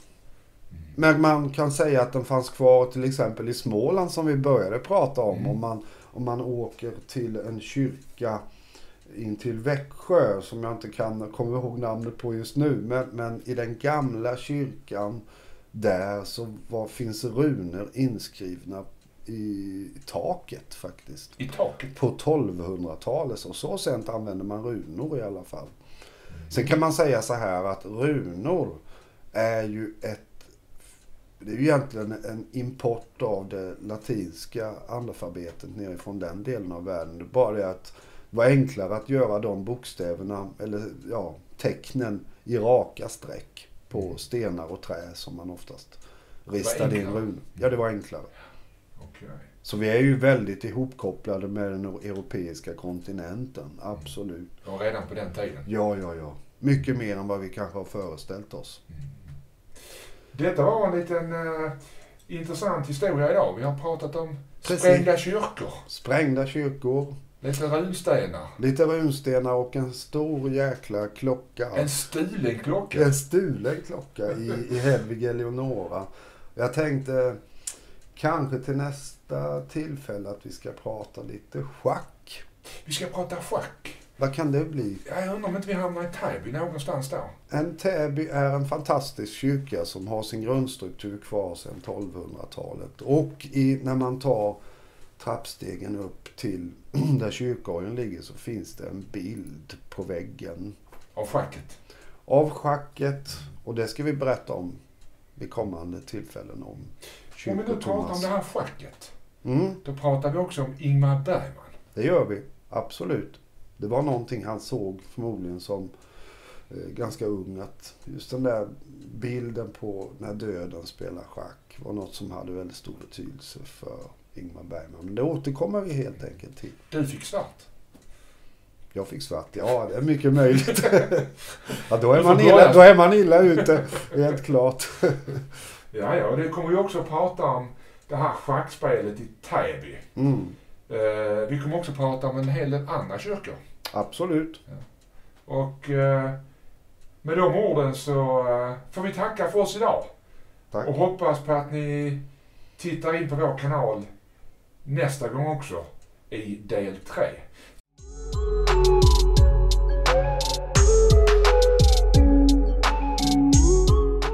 Den tar jag. Och du fick svart. Ja men det passar ju bra det. Eller hur? Med tanke på det vi ska tala om idag. Ja. Just det. Vi Och ska... jag tänkte faktiskt att jag skulle göra ett litet schackdrag här. Vad ska jag kontra med här tro? Jag ska nu göra något som är oförlåtligt. Vad tycker du om det schackdraget Niklas? Sannolikt ett vansinnesdrag. Ett vansinnesdrag. Men vi är ju inte schackexperter vare sig du eller jag. Nej, inte ännu. Inte ännu. Nej, Men- det kan ju bli. Vi kan ju bli. Men eh, här står bonde mot bonde och det är ju ett sätt att börja en diskussion. Bonde mot bonde. Precis. Niklas mot Thomas. Exakt så. Riddaren mot döden. Eller döden mot re- riddaren. Döden mot riddaren. Har du sett uh, Sjunde inseglet? Det har jag gjort men det var ganska länge sedan. Mm. De öppnar ju så här ungefär. Ungefär så. Men kanske inte samma öppning. Inte riktigt tror jag. jag För det, det handlar ju den, den filmen Sjunde inseglet. Det handlar ju egentligen om Guds tystnad. precis. Ehm, och vi, vi, som, vi som lyssnar på det här nu och ser det här också vet ju om att Guds tystnad har ju med uh, Uppenbarelseboken att göra. Om jag inte minns helt fel Niklas. Stämmer bra det. Det är ett tema för, för den där filmen. Ja. Guds tystnad. Som Guds uppstår tystnad. När Lammet säger i Uppenbarelseboken när man bryter det sjunde inseglet så uppstod en tystnad i himlen som varade vid pass en halvtimme. Om jag säger så att Gud hör bön, vad säger du då? Om Gud har en tystnad? Ja, alltså man brukar ju säga om man är kristen och det behöver man ju inte nödvändigtvis Mm. vara för att eh, ha de här programmen eller prata om de här intressanta sakerna för det handlar om kulturarv. Mm. Men bön brukar ju beskrivas som, som hjärtats samtal med Gud och om Gud då är tyst Mm. då blir det lite problematiskt. Då får man inte det här samtalet. Du får inte svaren du vill ha heller. Och det kan man väl säga att det kanske är en bakgrund till varför eh, i filmen som huvudrollsinnehavaren spelar schack med döden. Så kan man säga om man vill dramatisera det något. Absolut. Ni som eh, ser det här programmet idag vet ju om att vi pratar ofta om kulturarv, jag och Niklas Svensson. Eh, och det kommer vi göra idag också. Vi ska prata mycket om kyrkor. Vi Absolut. kommer att prata om eh, träkyrkor och eh, kyrkor som vi har kvar som har undvikit eh, en nedmontering kan man väl säga. Eller till och med rivning. Till och med rivning ja. Ehm, och det, ni som tittar på programmet, ni behöver ju varken vara kristna eller, eller troende. Eh, det här programmet är ju till för att visa vårt kulturarv som vi har här med svenska kyrkor. Och det spelar liksom ingen roll, utan det här är bara mest en, en, ett vad ska man säga, en historiebeskrivning som vi ska göra idag. Och eh, vi har ju haft kyrkor i Sverige i minst tusen år. Och eh, det är ju för att människor har haft en längtan efter något högre. Högre än sig själv. Absolut, och det finns en oerhörd kärlek som är nedplöjd, om man nu får använda det uttrycket, det, i våra ja. kyrkor. Eh, Vi var naturligtvis betydligt mer kristna för bara hundra år sedan och, och Mm. bakåt i tiden så var det ju en absolut central del av människans liv överhuvudtaget. Mm. Man gick i kyrkan på söndagar. Inget konstigt, men kyrkorna står där som både en spegel av vår historia. Hur vi byggde, hur vi levde, vilka, vilka adliga ätter som var betydelsefulla i just den socknen som ju kyrkans församling ofta kallas. Ordet socken kan man jämföra med sochen på tyska som betyder söka. Man Söka. sökte sig till sin kyrka och därför blev det namnet socken. Kunde man välja kyrkor, om vi pratar om ett par, 300 år tillbaka till, kunde man välja dem själv? Eller blev man nästan tvingad in i en församling? absolut, ja, du var absolut eh, tvingad att vara med i församlingen. Vi hade en statskyrka och det var den lutheranska kyrkan. Ända sedan 1528 då vi fick en reformation och lämnade den katolska kyrkan i Sverige. Man, man lämnar en, en kyrka som eh, eh, lämnar ut avlatsbrev, eller? Ja, alltså om, om vi nu, nu kom vi in på Martin Luther som var den stora reformatorn. Ja. Han, han satte ju upp 95 teser på kyrkporten i Wittenberg 1519. Just det, det var några, några år innan. Och huvudkritiken var ju att eh, rika människor kunde köpa sig frälsning genom att så att säga så kallade avlatsbrev. Men, men det är en lång historia som jag inte har pluggat in nu. Nej, så nej, det kan nej. bli något fel här och där. Men, men eh, så var ju reformationen. Och Luther ansåg ju att man skulle återvända till Bibeln. Man skulle kunna ha ett personligt förhållande till Gud. Och inte behöva gå genom en församling för att bli frälst. Utan man behövde inte präster i den meningen att man, man kunde på egen hand ha en kontakt med Gud. Och bön är ju en väldigt central del av att ha kontakt med Gud. Eh, Så att i så mått så hänger ju storyn ihop som vi ska berätta lite grann om nu. Om vi börjar med, med Täby kyrka. Täby kyrka, ja. Eh, Täby kyrka har ju en intressant koppling till eh, eh, Ingmar Bergmans Sjunde inseglet. Det kan man säga för om man kommer in i denna fantastiska kyrka från slutet av 1200-talet så är det två saker som, som många saker för den delen. Det ena är att eh, strukturen på kyrkan, eller planlösning säger vi ibland när vi bygger nu för tiden, är ungefär nästan exakt densamma som den var när man byggde kyrkan på 1200-talet. Så det i sig är ju något fantastiskt med just Täby kyrka, ett kulturarv som finns rakt in i Stockholmsregionen.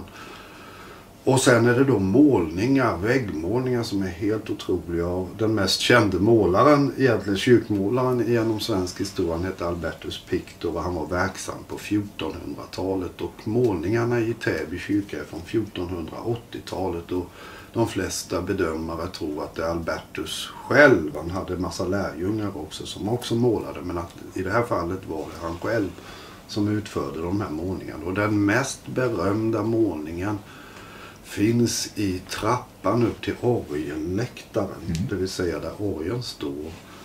Och den föreställer alltså eh, döden spelar schack. Och enligt legenden eller historien så såg Ingmar Bergman den här målningen vid flera tillfällen. Han hade, hade ju en pappa som var präst så på något sätt så var han väl ganska ofta i Täby kyrka av någon anledning. Men såg den här målningen och blev inspirerad så småningom och tog med sig den här ganska skrämmande bilden för ett barn säkert där, där döden spelar schack med, med riddaren. Ehm, så att den blev så småningom ett tema i den film som gjorde honom världsberömd nämligen Det sjunde inseglet som vi redan har pratat om från 1957 och med Max von Sydow i huvudrollen. Just det, det är en film som jag har sett hur många gånger som helst. Absolut. Och den gjorde som sagt Ingmar Bergman till ett internationellt namn som regissör. Som ju han sen så att säga, bekräftade genom flera priser och någon Oscars tilldelning och så vidare. Så att han var ju berömd. Det, det, här, det här med att, att, att på något sätt göra upp med, med den gamla tiden. Eh, det, det var egentligen samma sak om man tittar på de här filmerna, eller framförallt filmen Utvandrarna. Många människor utvandrade från Sverige i slutet på 1800-talet för att de inte stod ut med den med, alltså med, med tuffheten alltså i den Ifrån svenska den kyrkan. exakt. Ja. Nej, men man hade något som heter konventikelplakatet från 1726. Mm. Och det innebar ju egentligen att du kunde bli straffad för om du till exempel läste ur Bibeln eller höll en sammankomst i ditt eget hem. Eh, eller, eller på något sätt avvek från den tro som, som myndigheterna hade bestämt att så här ska vi tro, inte på något annat sätt. Så det gjorde ju att vi inte hade riktig religionsfrihet förstås som vi har lags, eh, grundlagsfäst idag. Du har ju rätt att utöva din religion oavsett. Det är ju en viktig del av våra rättigheter. Men på den tiden kunde man inte göra det och i ett av fallen om du hade överträtt bestämmelserna så kunde du utvisas ur riket. Och det händer ju med den rollfigur som Allan Edwall spelar i filmen Utvandrarna. Han Just är ju det. präst, han läser ju hemma. Så, så på i tredje resan som man sa i överträdelse så blir han då utvisad. Tredje resan är alltså tredje gången som Tredje de gången som kommer jag på blivit honom. dömd. Exakt. Så första gången är det säkert något penningböter. Nu är vi inne på områden som jag inte direkt har läst på. Men och, och sen i ett andra fall kunde du säkert bli satt i fängelse över något, något dygn. Eller som en tredje resan så var det utvisning som gällde. Det var ganska tuffa tider. Eh, Absolut. om man inte, tänk om man var ateist på den tiden. Ja, då kunde man ha lite problem. Men och de det faktum är ju att eh, man skulle ju kunna säga att eh, eh, huvudrollsinnehavaren i Utvandrarfilmen, han, alltså Carl-Oskar Nilsson, hemmansägaren, som spelas också av Max von Sydow. Han tvivlar ju på, vad ska vi säga, att Gud eh, löser alla problem. Han säger ju flera gånger i filmen att eh, jag tror Gud hjälper den som hjälper, som hjälper sig själv. Det vill säga att man måste ta tag i sin problematik eller lösa problem. Det måste vi göra själva. Medan Kristina som är hustrun, hon förlitar ju sig på Gud. Mm. Vilket till slut till och med blir hennes död. Just det, det stämmer. Så att, eh, och det är ju också, nu kommer vi in på Utvandrarfilmen, den, den, den älskar jag. Så att, eh, Det är det man samma kan ju säga att Karl-Oskar är ju den som vill framåt, han vill flytta. Mm. Han, vill, han vill skapa sig något nytt för sin familj medan Kristina är tillbakahållande, vill stanna, eh, vill ha tryggheten, vill ha kontakten med Gud och kyrkan. Eh, Karl-Oskar är ju äventyraren eh, i så mått. Men han vill ju också bara leva det liv i Amerika som han lever här hemma. Så han gör ju exakt samma sak.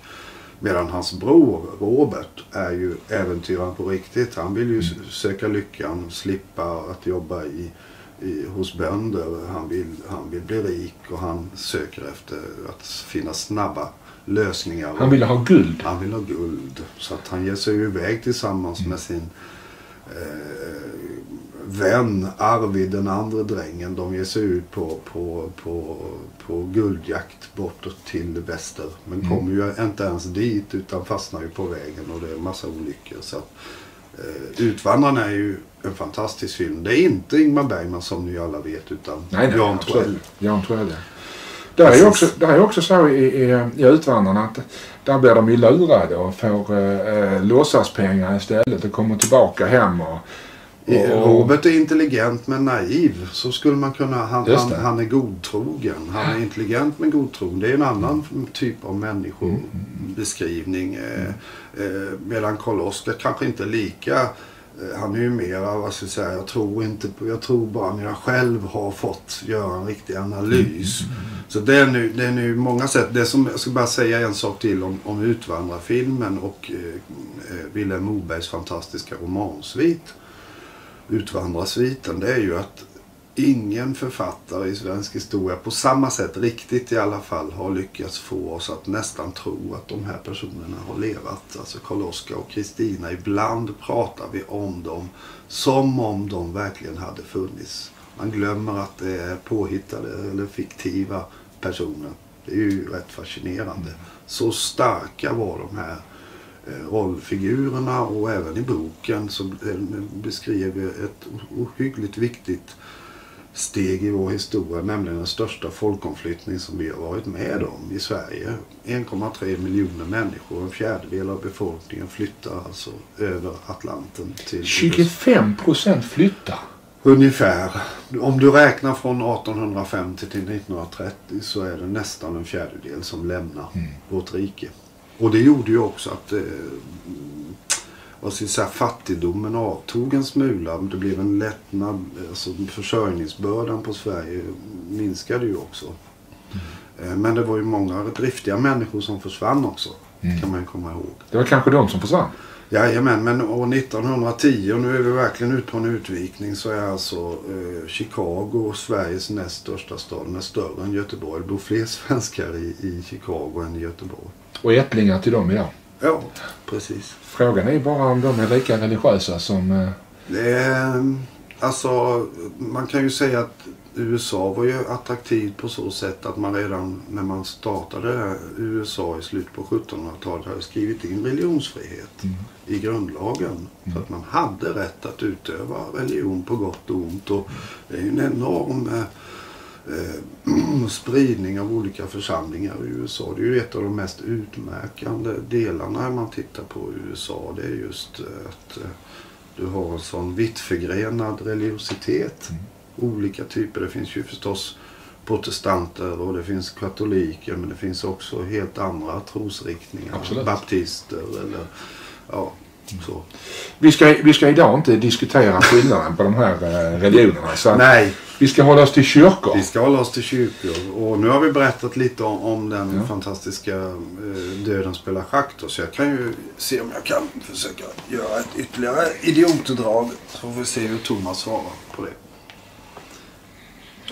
Men det här blir komplicerat. Men jag har faktiskt tänkt att jag ska klara mig så att... Eh, ehm, jag har ju svarta pjäser så att jag, jag tar nog ett rejält steg här. Dit ska jag. Det tror jag. Och när lammet bröt det sjunde inseglet, vad betyder det? Nej, det betyder att då uppstod en, en, en tystnad. Som är ett viktigt tema i filmen Sjunde inseglet. Men vad har Guds lammet med detta att göra? Eh, det var en bra fråga. det vet jag inte på rak arm. Lammet är ju en väldigt betydelsefull symbol i, symbol i, i, i religionen i, i, i, i Bibeln. Just det. Ja. Den står för många saker. Bland annat Johannes döparen brukar ha lammet som sin symbol. Va- Varför tror du han har lammet som sym- symbol där? Nej, men lammet, lammet symboliserar ju på nyttfödelse. Gör det det alltså? Ja, men precis på samma sätt som vi använder ägg till påsk. Det, det är också symbolik för något nytt som ska födas. Mm. Därför har vi ägget. Ja, men jag tycker när man pratar om judisk historia så är det ofta lammet som nämns. Jag Absolut. tycker inte man hör det den kristna. Alltså, Nej. Och, och man ska ju komma ihåg att judendomen hade ju ändå sin, sitt, sin, sitt nav kring Medelhavet. Och där fanns ju lamm i större utsträckning än vad vi hade här uppe. Så det handlar mycket om vilken, vilken typ av, av boskap vi förde. Och hur, hur. Just det. Vi hade mer höns här så då blev ägget... Eh, Där har vi skillnaden. ja, det skulle man kunna säga. Lammet och så hönsen här. Ja, det skulle man kunna säga. Och äggen. Och, och, och man hade ju vissa bestämmelser med vissa typer av kött och så vidare som inte funkade på andra ställen eftersom helt enkelt det inte fanns där. Så att man fick hitta någon annan väg. Men just ägget och lammet är väl två symboler för, för någonting nytt. Och det är klart att eh, kristendomen när den kom så hade den ju ett behov av att beskriva sig själv som nytt eh, i någon mening. Så att, eh, Att man blir på nytt född vid tro. Ja, absolut. Det är ju det centrala i kristendomen. Det är ju att du tror på Jesu uppståndelse och att vi alla kommer att uppstå. Det är ju det centrala. Att vi besegrar döden. Det passar ju väldigt bra när vi just Just pratar om döden. Att det, är ju, det, är ju vad, det är ju vad Jesus gör. Han återuppstår. Han, han, han besegrar döden. Därför kallas han ju ofta i tidig kristendom, eller ja, även här i Sverige, som segraren. Han besegrar. Han, han, han vinner. Och jag är ganska säker på att Sigtuna som ju är vår första förmodligen kristna stad och det här kommer ju säkert historiker hoppa på mig för men det står för segerstad. Sig. Det är ett tyskt ord, tyskt ord eller ett germanskt ord för seger. Sigtuna, alltså segerstaden. Då har man plockat bort e Ja, men eh, det är ju inte helt ovanligt. Så Nej, absolut. det kan man förstå. Det kan ha ramlat bort efterhand. I, I någon form. Precis. Eh, Men jag tror att Sigtuna har väl alltid stavats eh, på det sätt som vi gör idag.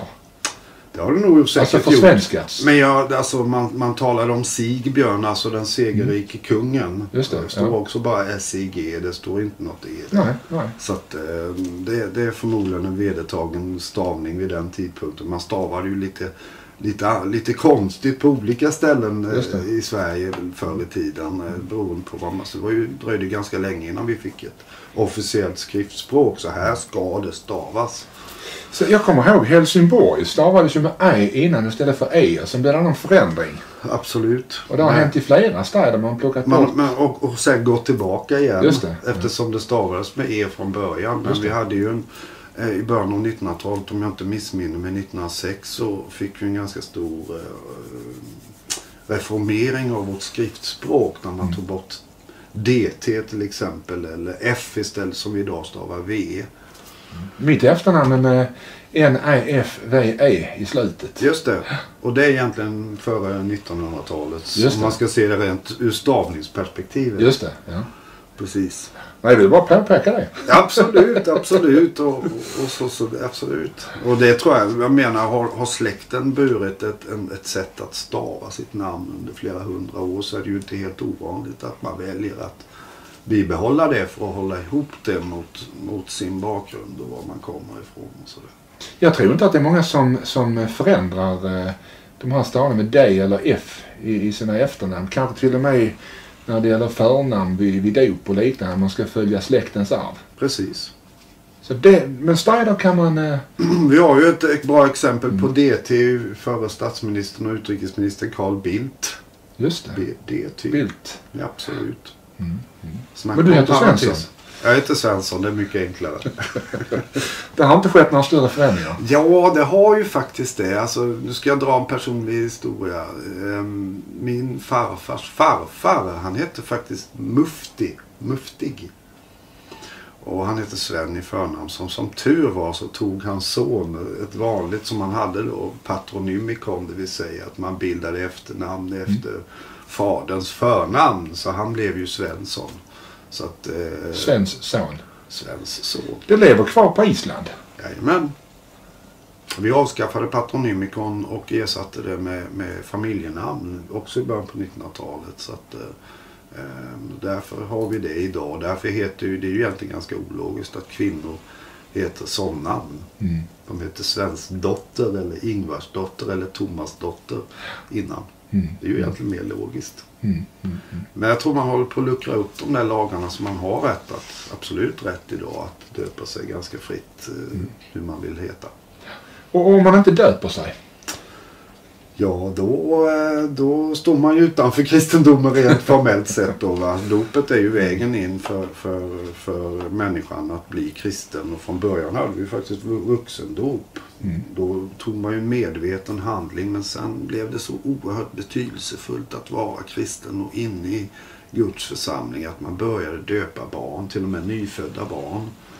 Eh, Och var de utsatta eller tidigt födda eller någonting och man, de riskerar att dö så såg man ju till att döpa dem så att de, Innan? ham- så att de hamnade i, i, i paradiset eller Mm. hos Gud. Eller i, i, i, i efterlevande världen. Så dopen är egentligen bara en bekräftelse på att jag tror. Ja, inte riktigt så. Eller? Därför att konfirmation betyder bekräftelse. Ja. Så när du, då tar du ställning som, som Alltså konfirmationen är ju att konfirmera din tro. Mm. Du är i församlingen men när du konfirmeras bekräftar du genom att lära dig mer om Mm. vad, vad, vad det betyder att tro och hur du ska leva lite grann så. Dopet är nog, eh, vad ska man säga, medlemskapet. Ja, det skulle Och, man och, kunna och säga. konfirmationen är att jag bekräftar att jag är, är, är, har tron. Absolut, absolut. Så Mm. att eh, så konf- alltså alla, alla de här eh, sakramenten och det som, eller de, de eh, är viktiga inslag i kristendomen. Vi har ju pratat lite grann om Täby kyrka, vi har pratat om det sjunde inseglet och vi har pratat om Uppenbarelseboken. Mm. Vi har pratat om Guds tystnad Mm. och när lammet bröt det sjunde inseglet. uppstod i himmelen en tystnad som varade vid pass en halv timme. Vad menas med allt det här?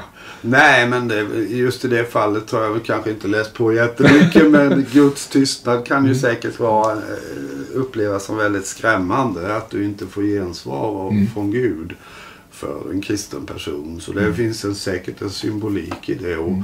I symboliken ligger ju också då att döden eller djävulen passar på att försöka plocka dig som människa, ta ditt liv eller så att säga Mm. utmana dig som ju schackspelet står ganska mycket för. Tycker jag. Men för här har vi en riddare till exempel under sjunde inseglet som, som försöker eh, deala, förhandla med döden.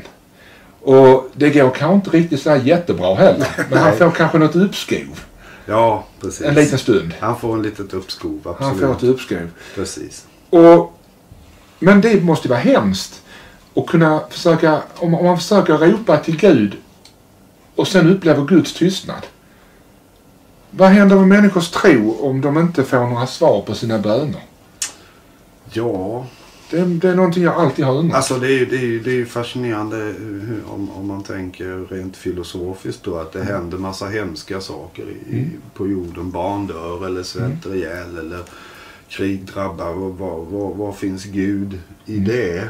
Men, men eh, man menar ju också då som, som eh, i, i, religiösa sammanhang att, eh, att man kan bli misstrogen mot att Gud inte svarar, inte hjälper mig, inte. Inte vill hjälpa kanske? Nej, och, och det, det, ordet frälsning är ju en, en slags centralt begrepp Mm. inom kristendomen. Du säger att uh, människan här nere på jorden lever ett något annorlunda och mer besvärligt liv. Det, det är ett annorlunda och bättre liv efter döden hos, i Guds rike. Därför här nere på jorden så utmanar djävulen oss. Han, han finns bland oss, inom oss. Och, eh, så att eh, i, i vanlig kristendom, inte i alla, inte i alla trosriktningar, så är ju eh, efterkommande riket hos Gud ett bättre rike än, än det elände vi upplever ner på jorden. Eh, och och eh, där onda makter så att säga utmanar oss hela tiden. Det händer otäcka saker och så vidare. Men vad, vad händer med oss? Om vi nu, om vi nu säger att, att, att vi spelar ett schackspel här nere på, på jorden. Mm.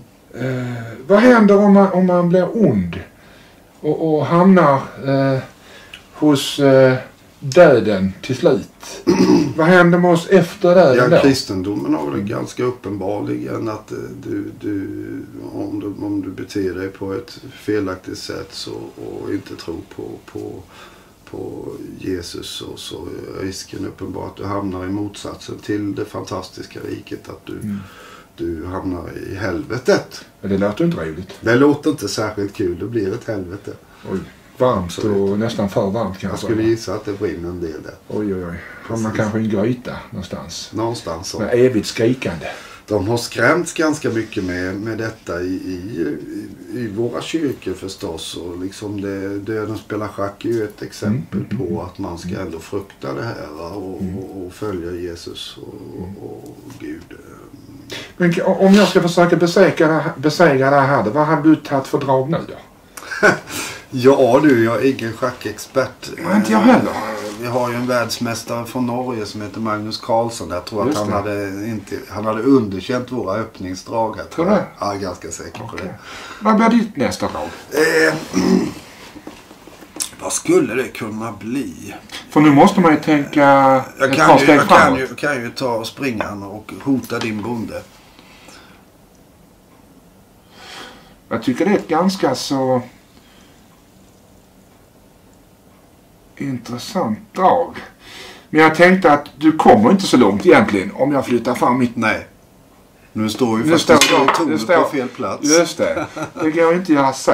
Eller hur? Men däremot så flyttar jag fram en bonde till. Jag offrar Exakt, en bonde. exakt, ett bondeoffer. Exakt, exakt. Ett bondeoffer. Precis, men då offrar jag min springare så jag kommer inte att slå din bonde. Nej, jag kan inte ta den Så jag nästa- kanske flyttar tillbaka eller flyttar någon annanstans. Om inte jag gör någonting annat så. Men här finns ju miljoner möjligheter i schack. Det är det som är så fascinerande med det. Att, eh, att eh, det egentligen liknar inte det ena schackspelet eller partiet Och så här är kanske livet också. Alla människor spelar parti schack med, med sig själv i förhållande till döden. Ja, Och spelar man det rätt så kommer man förmodligen. att leva länge. Precis. Och kanske hamna i paradiset. Ja.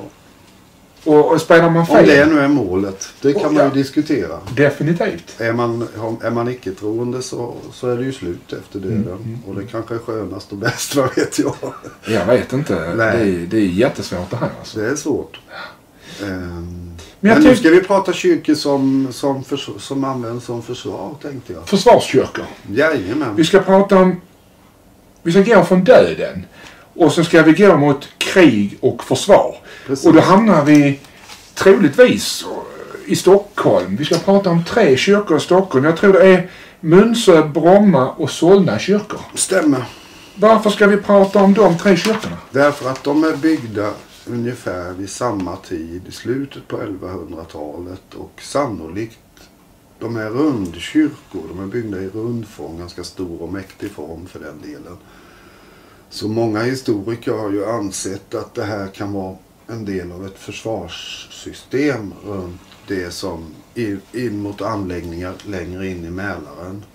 Vi vet ju inte exakt vid den tiden, i slutet på 1100-talet, om vi har, vi har fått en bebyggelse i det vi kallar Stockholm. Och I det fallet så är Stockholm inne i Gamla stan eller Stadsholmen. Det man tror eller tror sig veta är att på Stadsholmen i Gamla stan så har man byggt ett, ett försvarstorn, ett högt sådant. De brukar kallas för kastaler. Kastaler. Och det bildar sen stommen i slottet Tre Kronor som ju finns ett antal hundra år framåt i tiden. Tills det brinner 1697. Så det högsta tornet i Tre Kronor är den så kallade kastalen som sen blev lite påbyggd. Men de här tre kyrkorna bildade då en, vad ska vi säga, ett komplement för att skydda det nya rikets centrum. Om det nu var eh, tidigare också Sigtuna, Segerstaden som vi har pratat om, som förmodligen var den första eh, stad som också hade ett kristet inslag när man grundade. Eh, och senare Stockholm, för det visade sig väldigt lämpligt att fortsätta bygga kring den här kastalen och människor bosatte sig där. Men Stockholm officiellt brukar ju anses vara grundat av Birger Jarl 1252. För ordet Stockholm står alltså i ett brev som han har författat. Så därför brukar man säga att Stockholm eh, vet vi fanns 1252. Men eftersom han skriver det i ett brev så kan det ju vara namnsatt betydligt tidigare än så. Brukar vara så. Ofta är det så, om han omnämner det i en, i en men det är ju, och, och så småningom kommer det ju att bli en, en huvudstad i landet. Eh, Det är det inte hundraprocentigt under Birger Jarls tid för han väljer att bli begraven i Varnhem i Västergötland. Som är en betydelsefull full plats i, i Sveariket. Eh, och de här kyrkorna då, om vi ska återvända till de här tre rundkyrkorna. Solna, strax norr om Stockholm, lite mer västerut Bromma eh, och eh, Munsö som ligger inte så långt från där man åker över till Adelsö från Ekerö. Är också byggd i, i den här runda stilen. och enklare att försvara en rund byggnad än en fyrkantig där man kan gömma sig bakom väggen. så det är ju den enkla förklaringen. Men de är alltså byggda med samma teknik. Och om man ska ta dem var och en för sig så kan vi ju börja med Bromma. Mm. Eh, sent 1100-tal som anses vara en av Stockholms, det ligger ju också inom Stockholms gräns, Stockholms kommun, äldsta byggnader. Fullständigt fantastisk eh, kyrka i västerort. Eh, också faktiskt med väggmålningar utav Albertus Picto ungefär samma tid som Täby. Så han var en kringresande målare här i Mälardalen eh, och målade väldigt många kyrkor. Och även hans, hans personal anses ha målat en hel del kyrkor. Eh, vad som är speciellt med Bromma också är att, eh, att den har en, det här runda torn uppe på vinden där jag faktiskt har varit som journalist. Jag fick en, eh, har, har gjort en intervjuserie med Torbjörn Gustafsson som är kyrkoherde där. Så har jag fått förmånen att gå upp på vinden som är nästan orörd från 1100-talet och framåt. Det är en fantastisk upplevelse. Berätta lite grann om, om, om den upplevelsen. Ja, alltså att få se ett rum som, som eh, i princip inte har varit rört eh, under så lång tid utan det, prylarna finns där. Det är en slags rysning som går genom kroppen av att återuppleva någonting som har funnits där under lång tid. Och jag tror att det är därför som historiska byggnader är viktiga för oss. Vi speglar oss i dem och kan se vårt egen, egna förflutna. I så mening så tror jag att det är väldigt farligt att riva gamla byggnader utan att ta en rejäl diskussion om det. eh, Vad, vad det betyder. Så att det här med kulturarv och kulturarvsskydd är något viktigt. Mm, det tycker jag också. Jag vet ju bara här i Stockholm så, så uh, gjorde man ju något fatalt misstag genom att riva i, i, i inre delen av Stockholm och, och bygga såna här skapor istället. Och, alltså jag förstår inte hur människor tänker.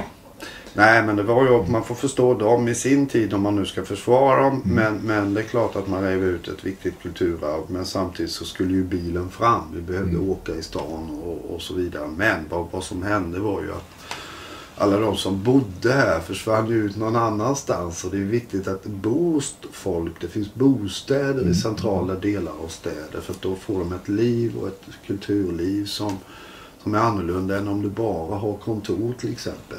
Då blir det ju ganska livlöst. Eh, folk är bara där på dagtid och så på kvällstid är det borta. Jag tänker på La Défense i Paris. Och sen motsatsen i Prag. Där är ju mitt inne i stan gamla fina byggnader. Människor lever. I Stockholm är det rätt mycket Precis. eh, försäljningslokaler och Man har ju försökt att butiker. göra någonting åt det i alla fall och, och har byggt lite mer bostäder inne i centrala delarna. Så att eh, man försöker väl att motverka det. Men, men sen om vi går vidare med Munse då som jag sa ute på Ekerö. Också väl, väl värd ett besök. Eh, Från slutet av 1100-talet. Vad man vet om den också. Det finns en alternativ teori till att det bara var ett försvarstorn för eh, andra delar av Mälaren. Är ju att det fanns en ärkebiskop som ägde en gård där. Bona vid den här tiden. Så, så kyrkan kan mycket väl ha varit också ett försvarstorn för ärkebiskopen. Innan vi blev protestanter så hade eh, de kyrkliga överheten inom kyrkan, alltså katolska kyrkan, hade ju också betydande samhällsbetydelse på ett helt annat sätt. Och då hade man ofta också en, en liten armé eller en, en, en liten... Så att det var viktigt att försvara sin egendom. Alltså, eh, det kristna samhället ville försvara sig. Ja, Prästen ville absolut. försvara sig. Ärkebiskopen ville försvara I sig. någon mening hade ju kristendom naturligtvis fått kämpa till sig sin ställning. Mm. Idag ser vi ju inte det på, riktigt på det sättet. Men man kan se det i symboliken med Mm. att påven har schweizergardet till exempel. Just det. Som ser nästan komiska ut i sina klädesdräkter. Och definitivt hattar inte och- särskilt, ser inte särskilt farliga ut om man säger så. Men de är säkert duktiga på det. Men det finns ett kultur, ja förmodligen är de väldigt eh, kompetenta krigspersoner, det tror jag säkert. Eh, Sen då, bara det, det är intressant att det här är ju mm, så långt tillbaka som när, när kungen hette Knut Eriksson. Så det står ju i vårt manus om att påven Lucius den tredje tilldelar eh, eller fått jord, eh, Sveriges ärkebiskop på Munse. Så det finns också bekräftat att det fanns en koppling mellan ärkebiskopen och Munse kyrka. Och sen slutligen då Solna kyrka. Som ju ligger inte långt, eh, inne på norra kyrkogården. Fantastisk byggnad också. Och, Den är rund. den är också rund och byggd vid samma tid. Mm. Så mycket talar för att de här tre kyrkorna hade ett försvarssyfte. Mm. I Solna är min dotter konfirmerad. Apropå att vi pra- pratade om Just att det. bekräfta sin tro. Just det. Ja, ja men det är viktigt. Ja. Precis. Så, Så att eh, det var det om försvarskyrkor. Solna, Munse och Bromma. Norra kyrkogården, hur ofta har du besökt den?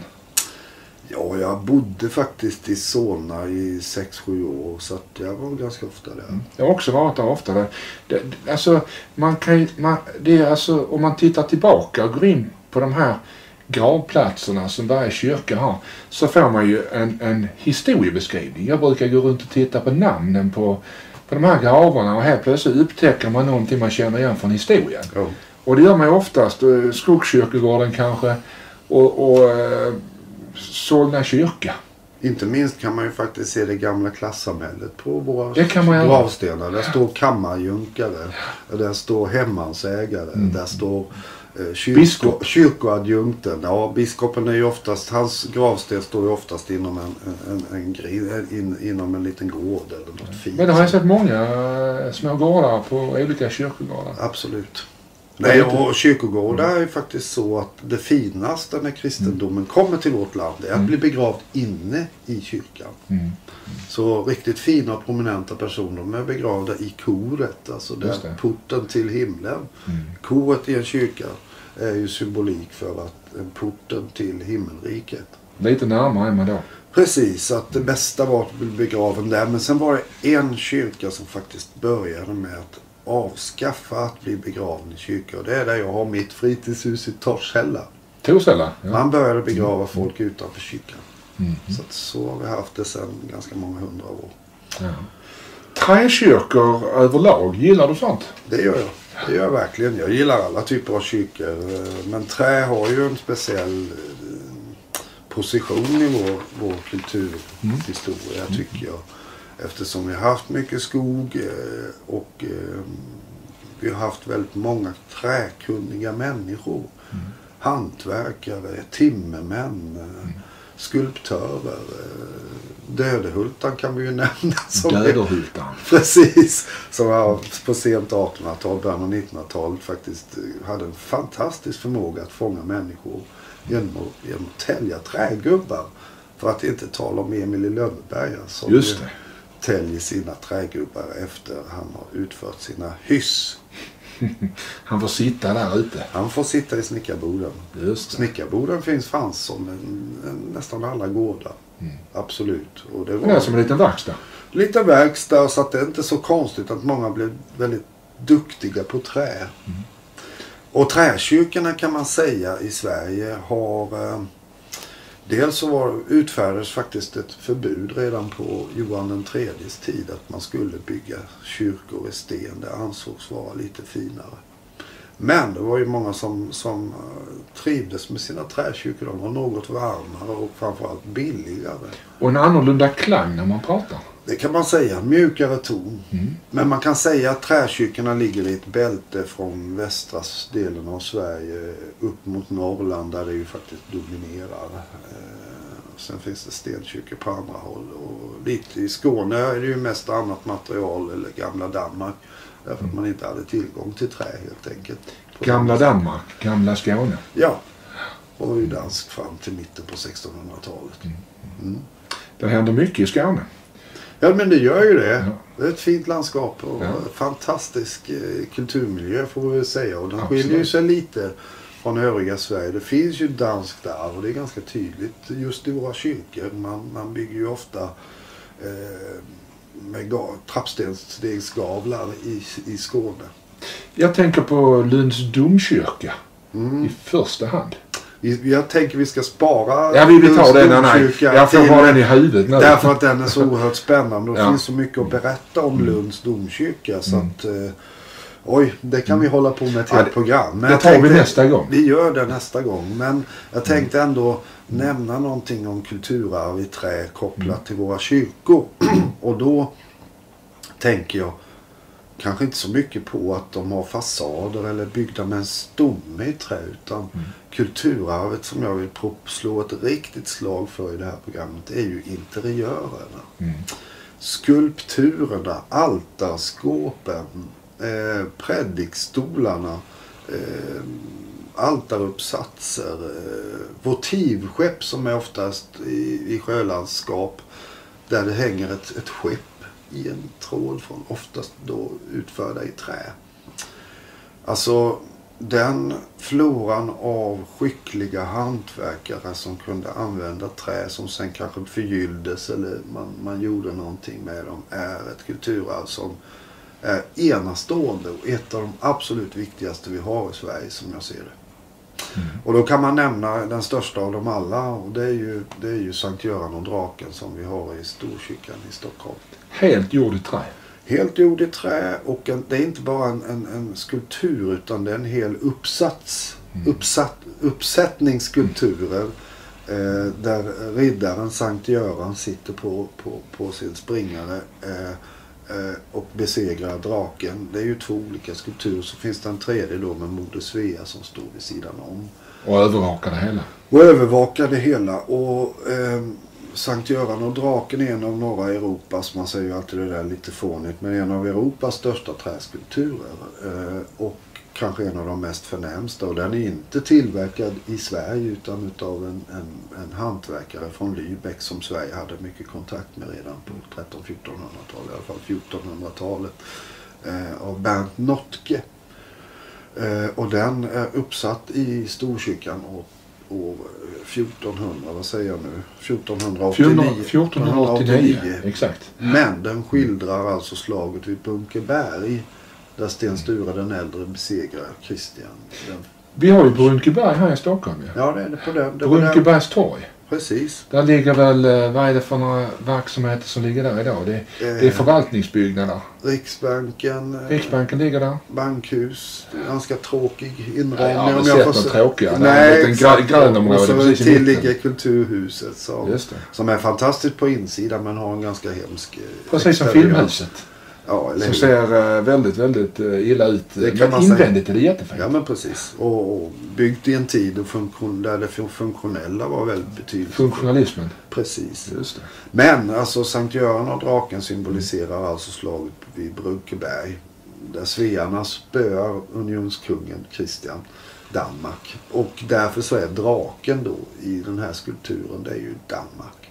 Draken är dansken. Jajamensan, stämmer. Och det, det är kanske inte många som vet det. Precis, och, och man kanske inte också tänker på att eh, Sankt Göran är, vad ska vi säga, ett, ett, ett, ett, viktig hjältefigur i hela Europa. Han heter St. George. Det finns St. George Cross Just i det. de anglo- anglosaxiska länderna. Och, och det är inget, så just den där St. George and the Dragon är liksom ingen, ingen, eh, det är ingen svensk, eh, svensk påhitt utan det finns i, i Europa. Men den ska symbolisera att vi har vunnit över dansken. Ja, I- i, i det, just det fallet så är det ju definitivt så. I ett enstaka fall. Jajamän.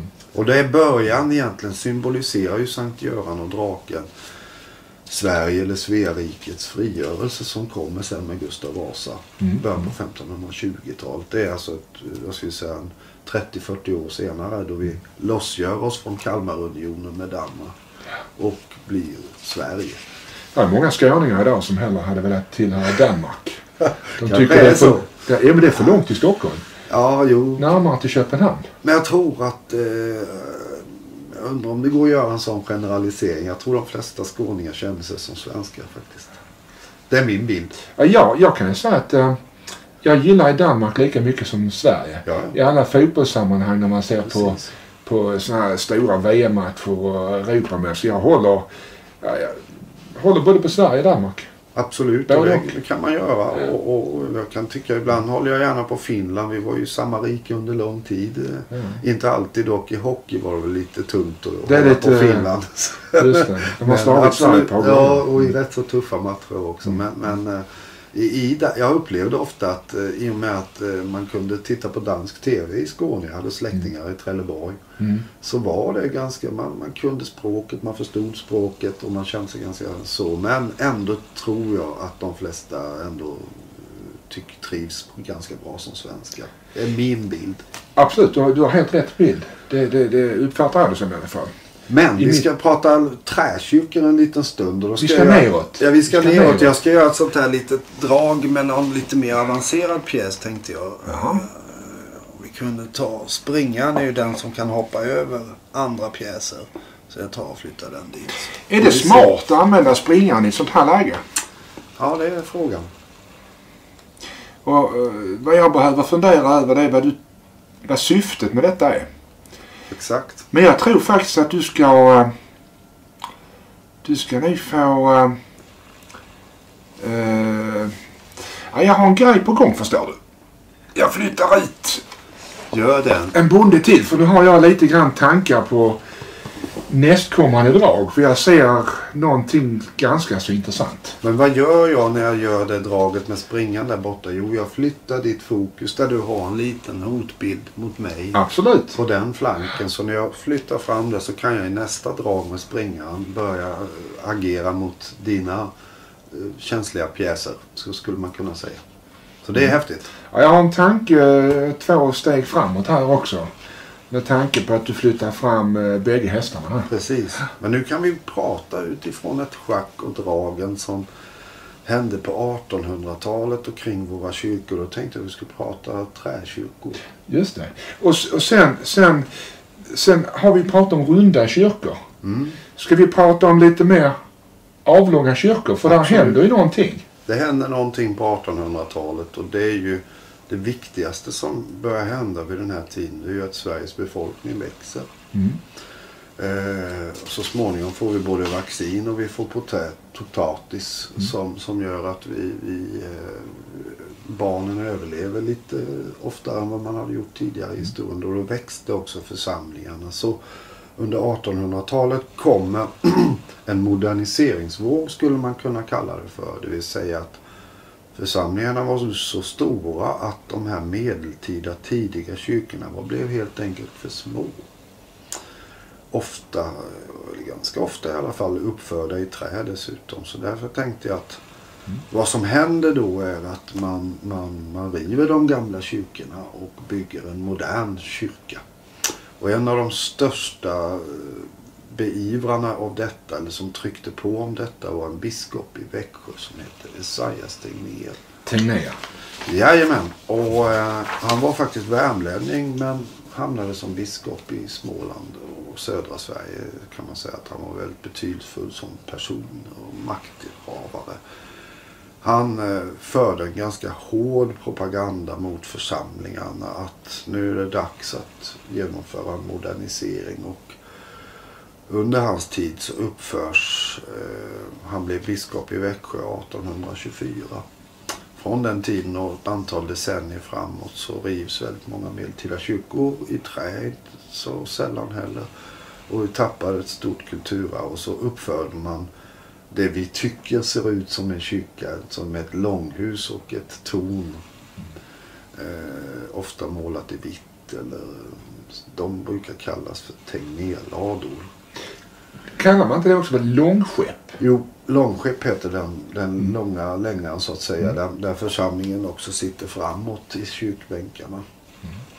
Eh, och, eh, men jag tänkte jag skulle prata om åtminstone eh, två kyrkor som har blivit kvar och därför är det så oerhört intressant. Och det finns, ganska, finns en del sådana runt om i Sverige. Jag tänkte prata om det som brukar kallas en av våra absolut äldsta timmerbyggnader eller träbyggnader. Det är Granhults kyrka. Ungefär en 10, 12, 15 mil från Växjö nordost. I Småland. I Småland. Mm. Och i Granhults kyrka, eh, man vet efter, den då, eh, efter undersökningar att eh, träden som har använts för kyrkobygget är fällda 1217. Vi är till och med före Birger Jarls tid här Mm. nu. Och eh, nere i mörkaste Småland. Eh, så att man tror att kyrkan är uppförd på 1220-talet. Och eh, genom att använda den för annan funktion så församlingsborna ville inte riva sin gamla vackra kyrka.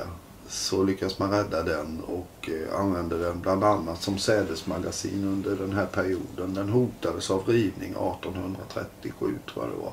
Man använder en kyrka som sädesmagasin. Ja precis, den var ju Är inte det en hädelse? Det skulle man kunna säga. Ryssarna gjorde ju det efter ryska revolutionen, det vill säga Sovjetunionen som ju var kommunister och per definition ateister. Då var man lite praktisk och använde kyrkorna som sädesmagasin eller någonting annat Ja, funktionellt. för Karl Marx, om jag minns det rätt, han sa ju att, att eh, religion var opium för folket. Precis, Och opium ska vi inte ha. precis. Utan han menade att det förvillade och bara gjorde att de gamla maktstrukturerna blev kvar. Just det. Och eh, det var, det, man kan väl säga att eh, även i den kristna kyrkan så har ju prästen ofta sagt att överheten är sänd av Gud. Det vill säga att det är Gud som har bestämt att vi ska ha överhet och underklass och så vidare. Undersåtar. Precis. Och Och det, det är de flesta. I någon mening kan man väl ge Karl Marx rätt. Mm. Absolut. Eh, Men, Ja men det, jag kan hålla med dig faktiskt. Det, det, det gör jag definitivt. precis. Mm. På något sätt så understödjer ju förstås kyrkan, har gjort den rådande maktstrukturen. Hög och låg. Ja, och, och framförallt har man gett ju sken av att det är Gud som har bestämt. Vilket man ju kan tvivla på. Men- Det borde vara lika inför Gud, alla människor. Så att det, men det är en filosofisk fråga. Men Ja. det, så är det. Jag tänkte på det här. Bliv vid din läst. Exakt. Är inte det någonting... Hitta inte på någonting dumt eller något Nej. nytt allt för mycket. Utan stanna där du är. I- Är din far snickare så ska du också bli snickare. Exakt. Ja, någonting Det sånt. låter inte särskilt kul. va. Så att, det- och det låter väldigt inlåst. Kan jag Då hade jag fått åka runt och sälja cyklar som min far. Precis. I hela landet. Eller hur va? Eller hur va? Jag hade fått slipa glas och det gjorde min pappa. Är du sugen på att slipa glas? Nej, inte särskilt. Nej, jag, jag håller mig till det jag gör idag istället. Precis. Så Granhults kyrka vill jag bara ge en rekommendation om. Det finns något lite kul där också. Ett, ett hagioskop i denna träkyrka med oerhört vackra väggar. Då målade eh, århundradena efter 1200-talet någon gång. Ett hagioskop var en öppning i väggen som fanns i den katolska kyrkan på sina håll. Eh, och det betydde att du som församlingsbo, om du hade utfört någonting så kunde du bli utestängd från att ta nattvarden. Och det är ju hemskt. Hemskt på den tiden, fruktansvärt. Och, eh, men då hade man öppnat en lucka, ett hargioskop, som gjorde att du kunde stå utanför kyrkan och ändå följa Du fick, mässan. du fick vara med trots att Du du, fick inte... vara med fast du stod utanför porten. Det kunde ju säkert regna och vara mycket besvärligt. Men, men du fick, kunde ändå se och du kunde rikta din bön mot altaret. Mm. Så ett hagioskop finns i Granhults kyrka. i Ja, men jag tycker det är förmedling. Alltså de har säkert tänkt till. Att de Absolut. skulle få vara med fast de inte Precis, riktigt var betrodda. just för tillfället. Vad det nu berodde på, det vet vi inte. Man kan ha varit ovän med prästen kanske. Man kanske har gjort något sånt eller varit lite otrogen eller något annat spännande. Allt kan hända. Allt kan hända. Jag tänkte Västergötland. Precis. Vi har ju ett ställe som heter Hedared. Hedared. Vad handlar det om? Jo, alltså där finns också en kyrka som har undgått rivning som jag tycker är fantastiskt eftersom det är en stavkyrka som ju är så vanligt i, i vårt västra grannland Norge. En kyrka som är byggd med en träteknik på ett speciellt sätt och den är också väl värd ett besök men den är faktiskt så sent byggd som på 1500-talet. Börja. Det är ganska sent. Det är ganska sent och, och just att man uppför en stavkyrka vid den tidpunkten är nog ganska sällsynt. Eller väldigt sällsynt i Sverige. Så att jag tycker att den, jag, jag gör en kort bara liksom PR för den här Hedared. För jag tycker den är fantastisk eh, att se. Och det är något som blev kvar då eftersom man, man hade planer på att, och gick ihop med en annan församling just i Västergötland. Så, som heter Sandhult. Men då blev den gamla församlingens kyrka kvar och det är ju fantastiskt och viktigt att bevara den här typen av... Vad är närmaste stad till Hedared? Om man nu ska försöka leta efter Hedared. Eller det kan vi ta nästa gång kanske. Det kan vi ta nästa gång. Jag kommer faktiskt inte ihåg vad Nej. som är den absolut närmaste staden. Men det, Men det är Västergötland i alla vi åt fall. tittarna att eh, ta reda på. Men Västergötland hittar vi till Absolut. bägge två. Så Det är jag inte tror inte det ska vara några är större konstigheter. Men däremot Habo som vi ska prata om nu som sista kyrka för idag. Mm. Den ligger inte så långt från Jönköping. Ligger Vättern. vid Vättern, men på Vätterns västra sida. Och ibland går den här under benämningen Timmerkatedralen i, vid Vättern. Det låter fint. Alltså, det är ju inte bara jag som säger det här, verkligen inte. Men kyrkan är full av Sveriges vackraste väggmålningar i en kyrka, vill jag påstå. Och den målar tak, väggar och, och det är en fantastisk upplevelse att åka till Habo kyrka. Vet du om det är mycket människor som besöker Habo kyrka? Eh, det vet jag faktiskt Nej. inte, men jag hoppas det. Därför att det är någonting som är värt att se. Då ska man veta det att det finns vackra väggmålningar i våra kyrkor i hela landet. Och i nästan alla kyrkor har ju någonting som... Det är ju, det är ju ett sätt att pryda det, det vi talade om inledningsvis, nämligen att man längtar efter något högre. Därför ska det ju vara vackert i en kyrka. Och det ska vara tyst. Och det ska vara tyst och det ska vara, det ska vara liksom en upplevelse att sitta Mm. där och, och ta emot budskap och, och predikningar och annat. Så Habo, ett slag för Sveriges vackraste kyrkomålningar. Och Mm. jag hoppas att vi när vi sänder den här filmen också har lagt in de bilder så att man kan se själv. Det kommer att visas lite bilder på detta sen. Precis. Absolut. Men ha- du har ju varit i den här träkatedralen. Mm. Hur, hur var känslan att komma in? Ja, det är en, det är, mm, när du ser något väldigt vackert så är det klart att det du, du drabb, alla sinnen drabbas. Det är en underbar känsla faktiskt, tycker jag. Eh, och man vet också att det är gjort av människor för, för väldigt länge sedan. Mm. Med, med den kärlek som de gjorde det där. Eh, och, och med syftet att liksom ha en gemenskap mellan människor. Så att det lå- låter nästan som en politisk avslutning. Men, men alltså en, en sån här känsla att, eh, att eh, det är betydelsefullt som finns i den här kyrkan. Det är betydelsefullt för de som bor där. Betydelsefullt för de som besöker kyrkan. Mm. Och som kommer till den här trakten och får se en spegel av den här bygden. Så jag tänkte vi kunde avsluta med ett av, avslutande drag här på schackspelet. Vad tror du om det Har du Thomas? tänkt att vinna eller? Alltså, när man går in i schack och så vidare så är det ju tanken att försöka att, att, att, att göra ett eh, smarta drag. Om det sen är det, det är ju det är en annan femma.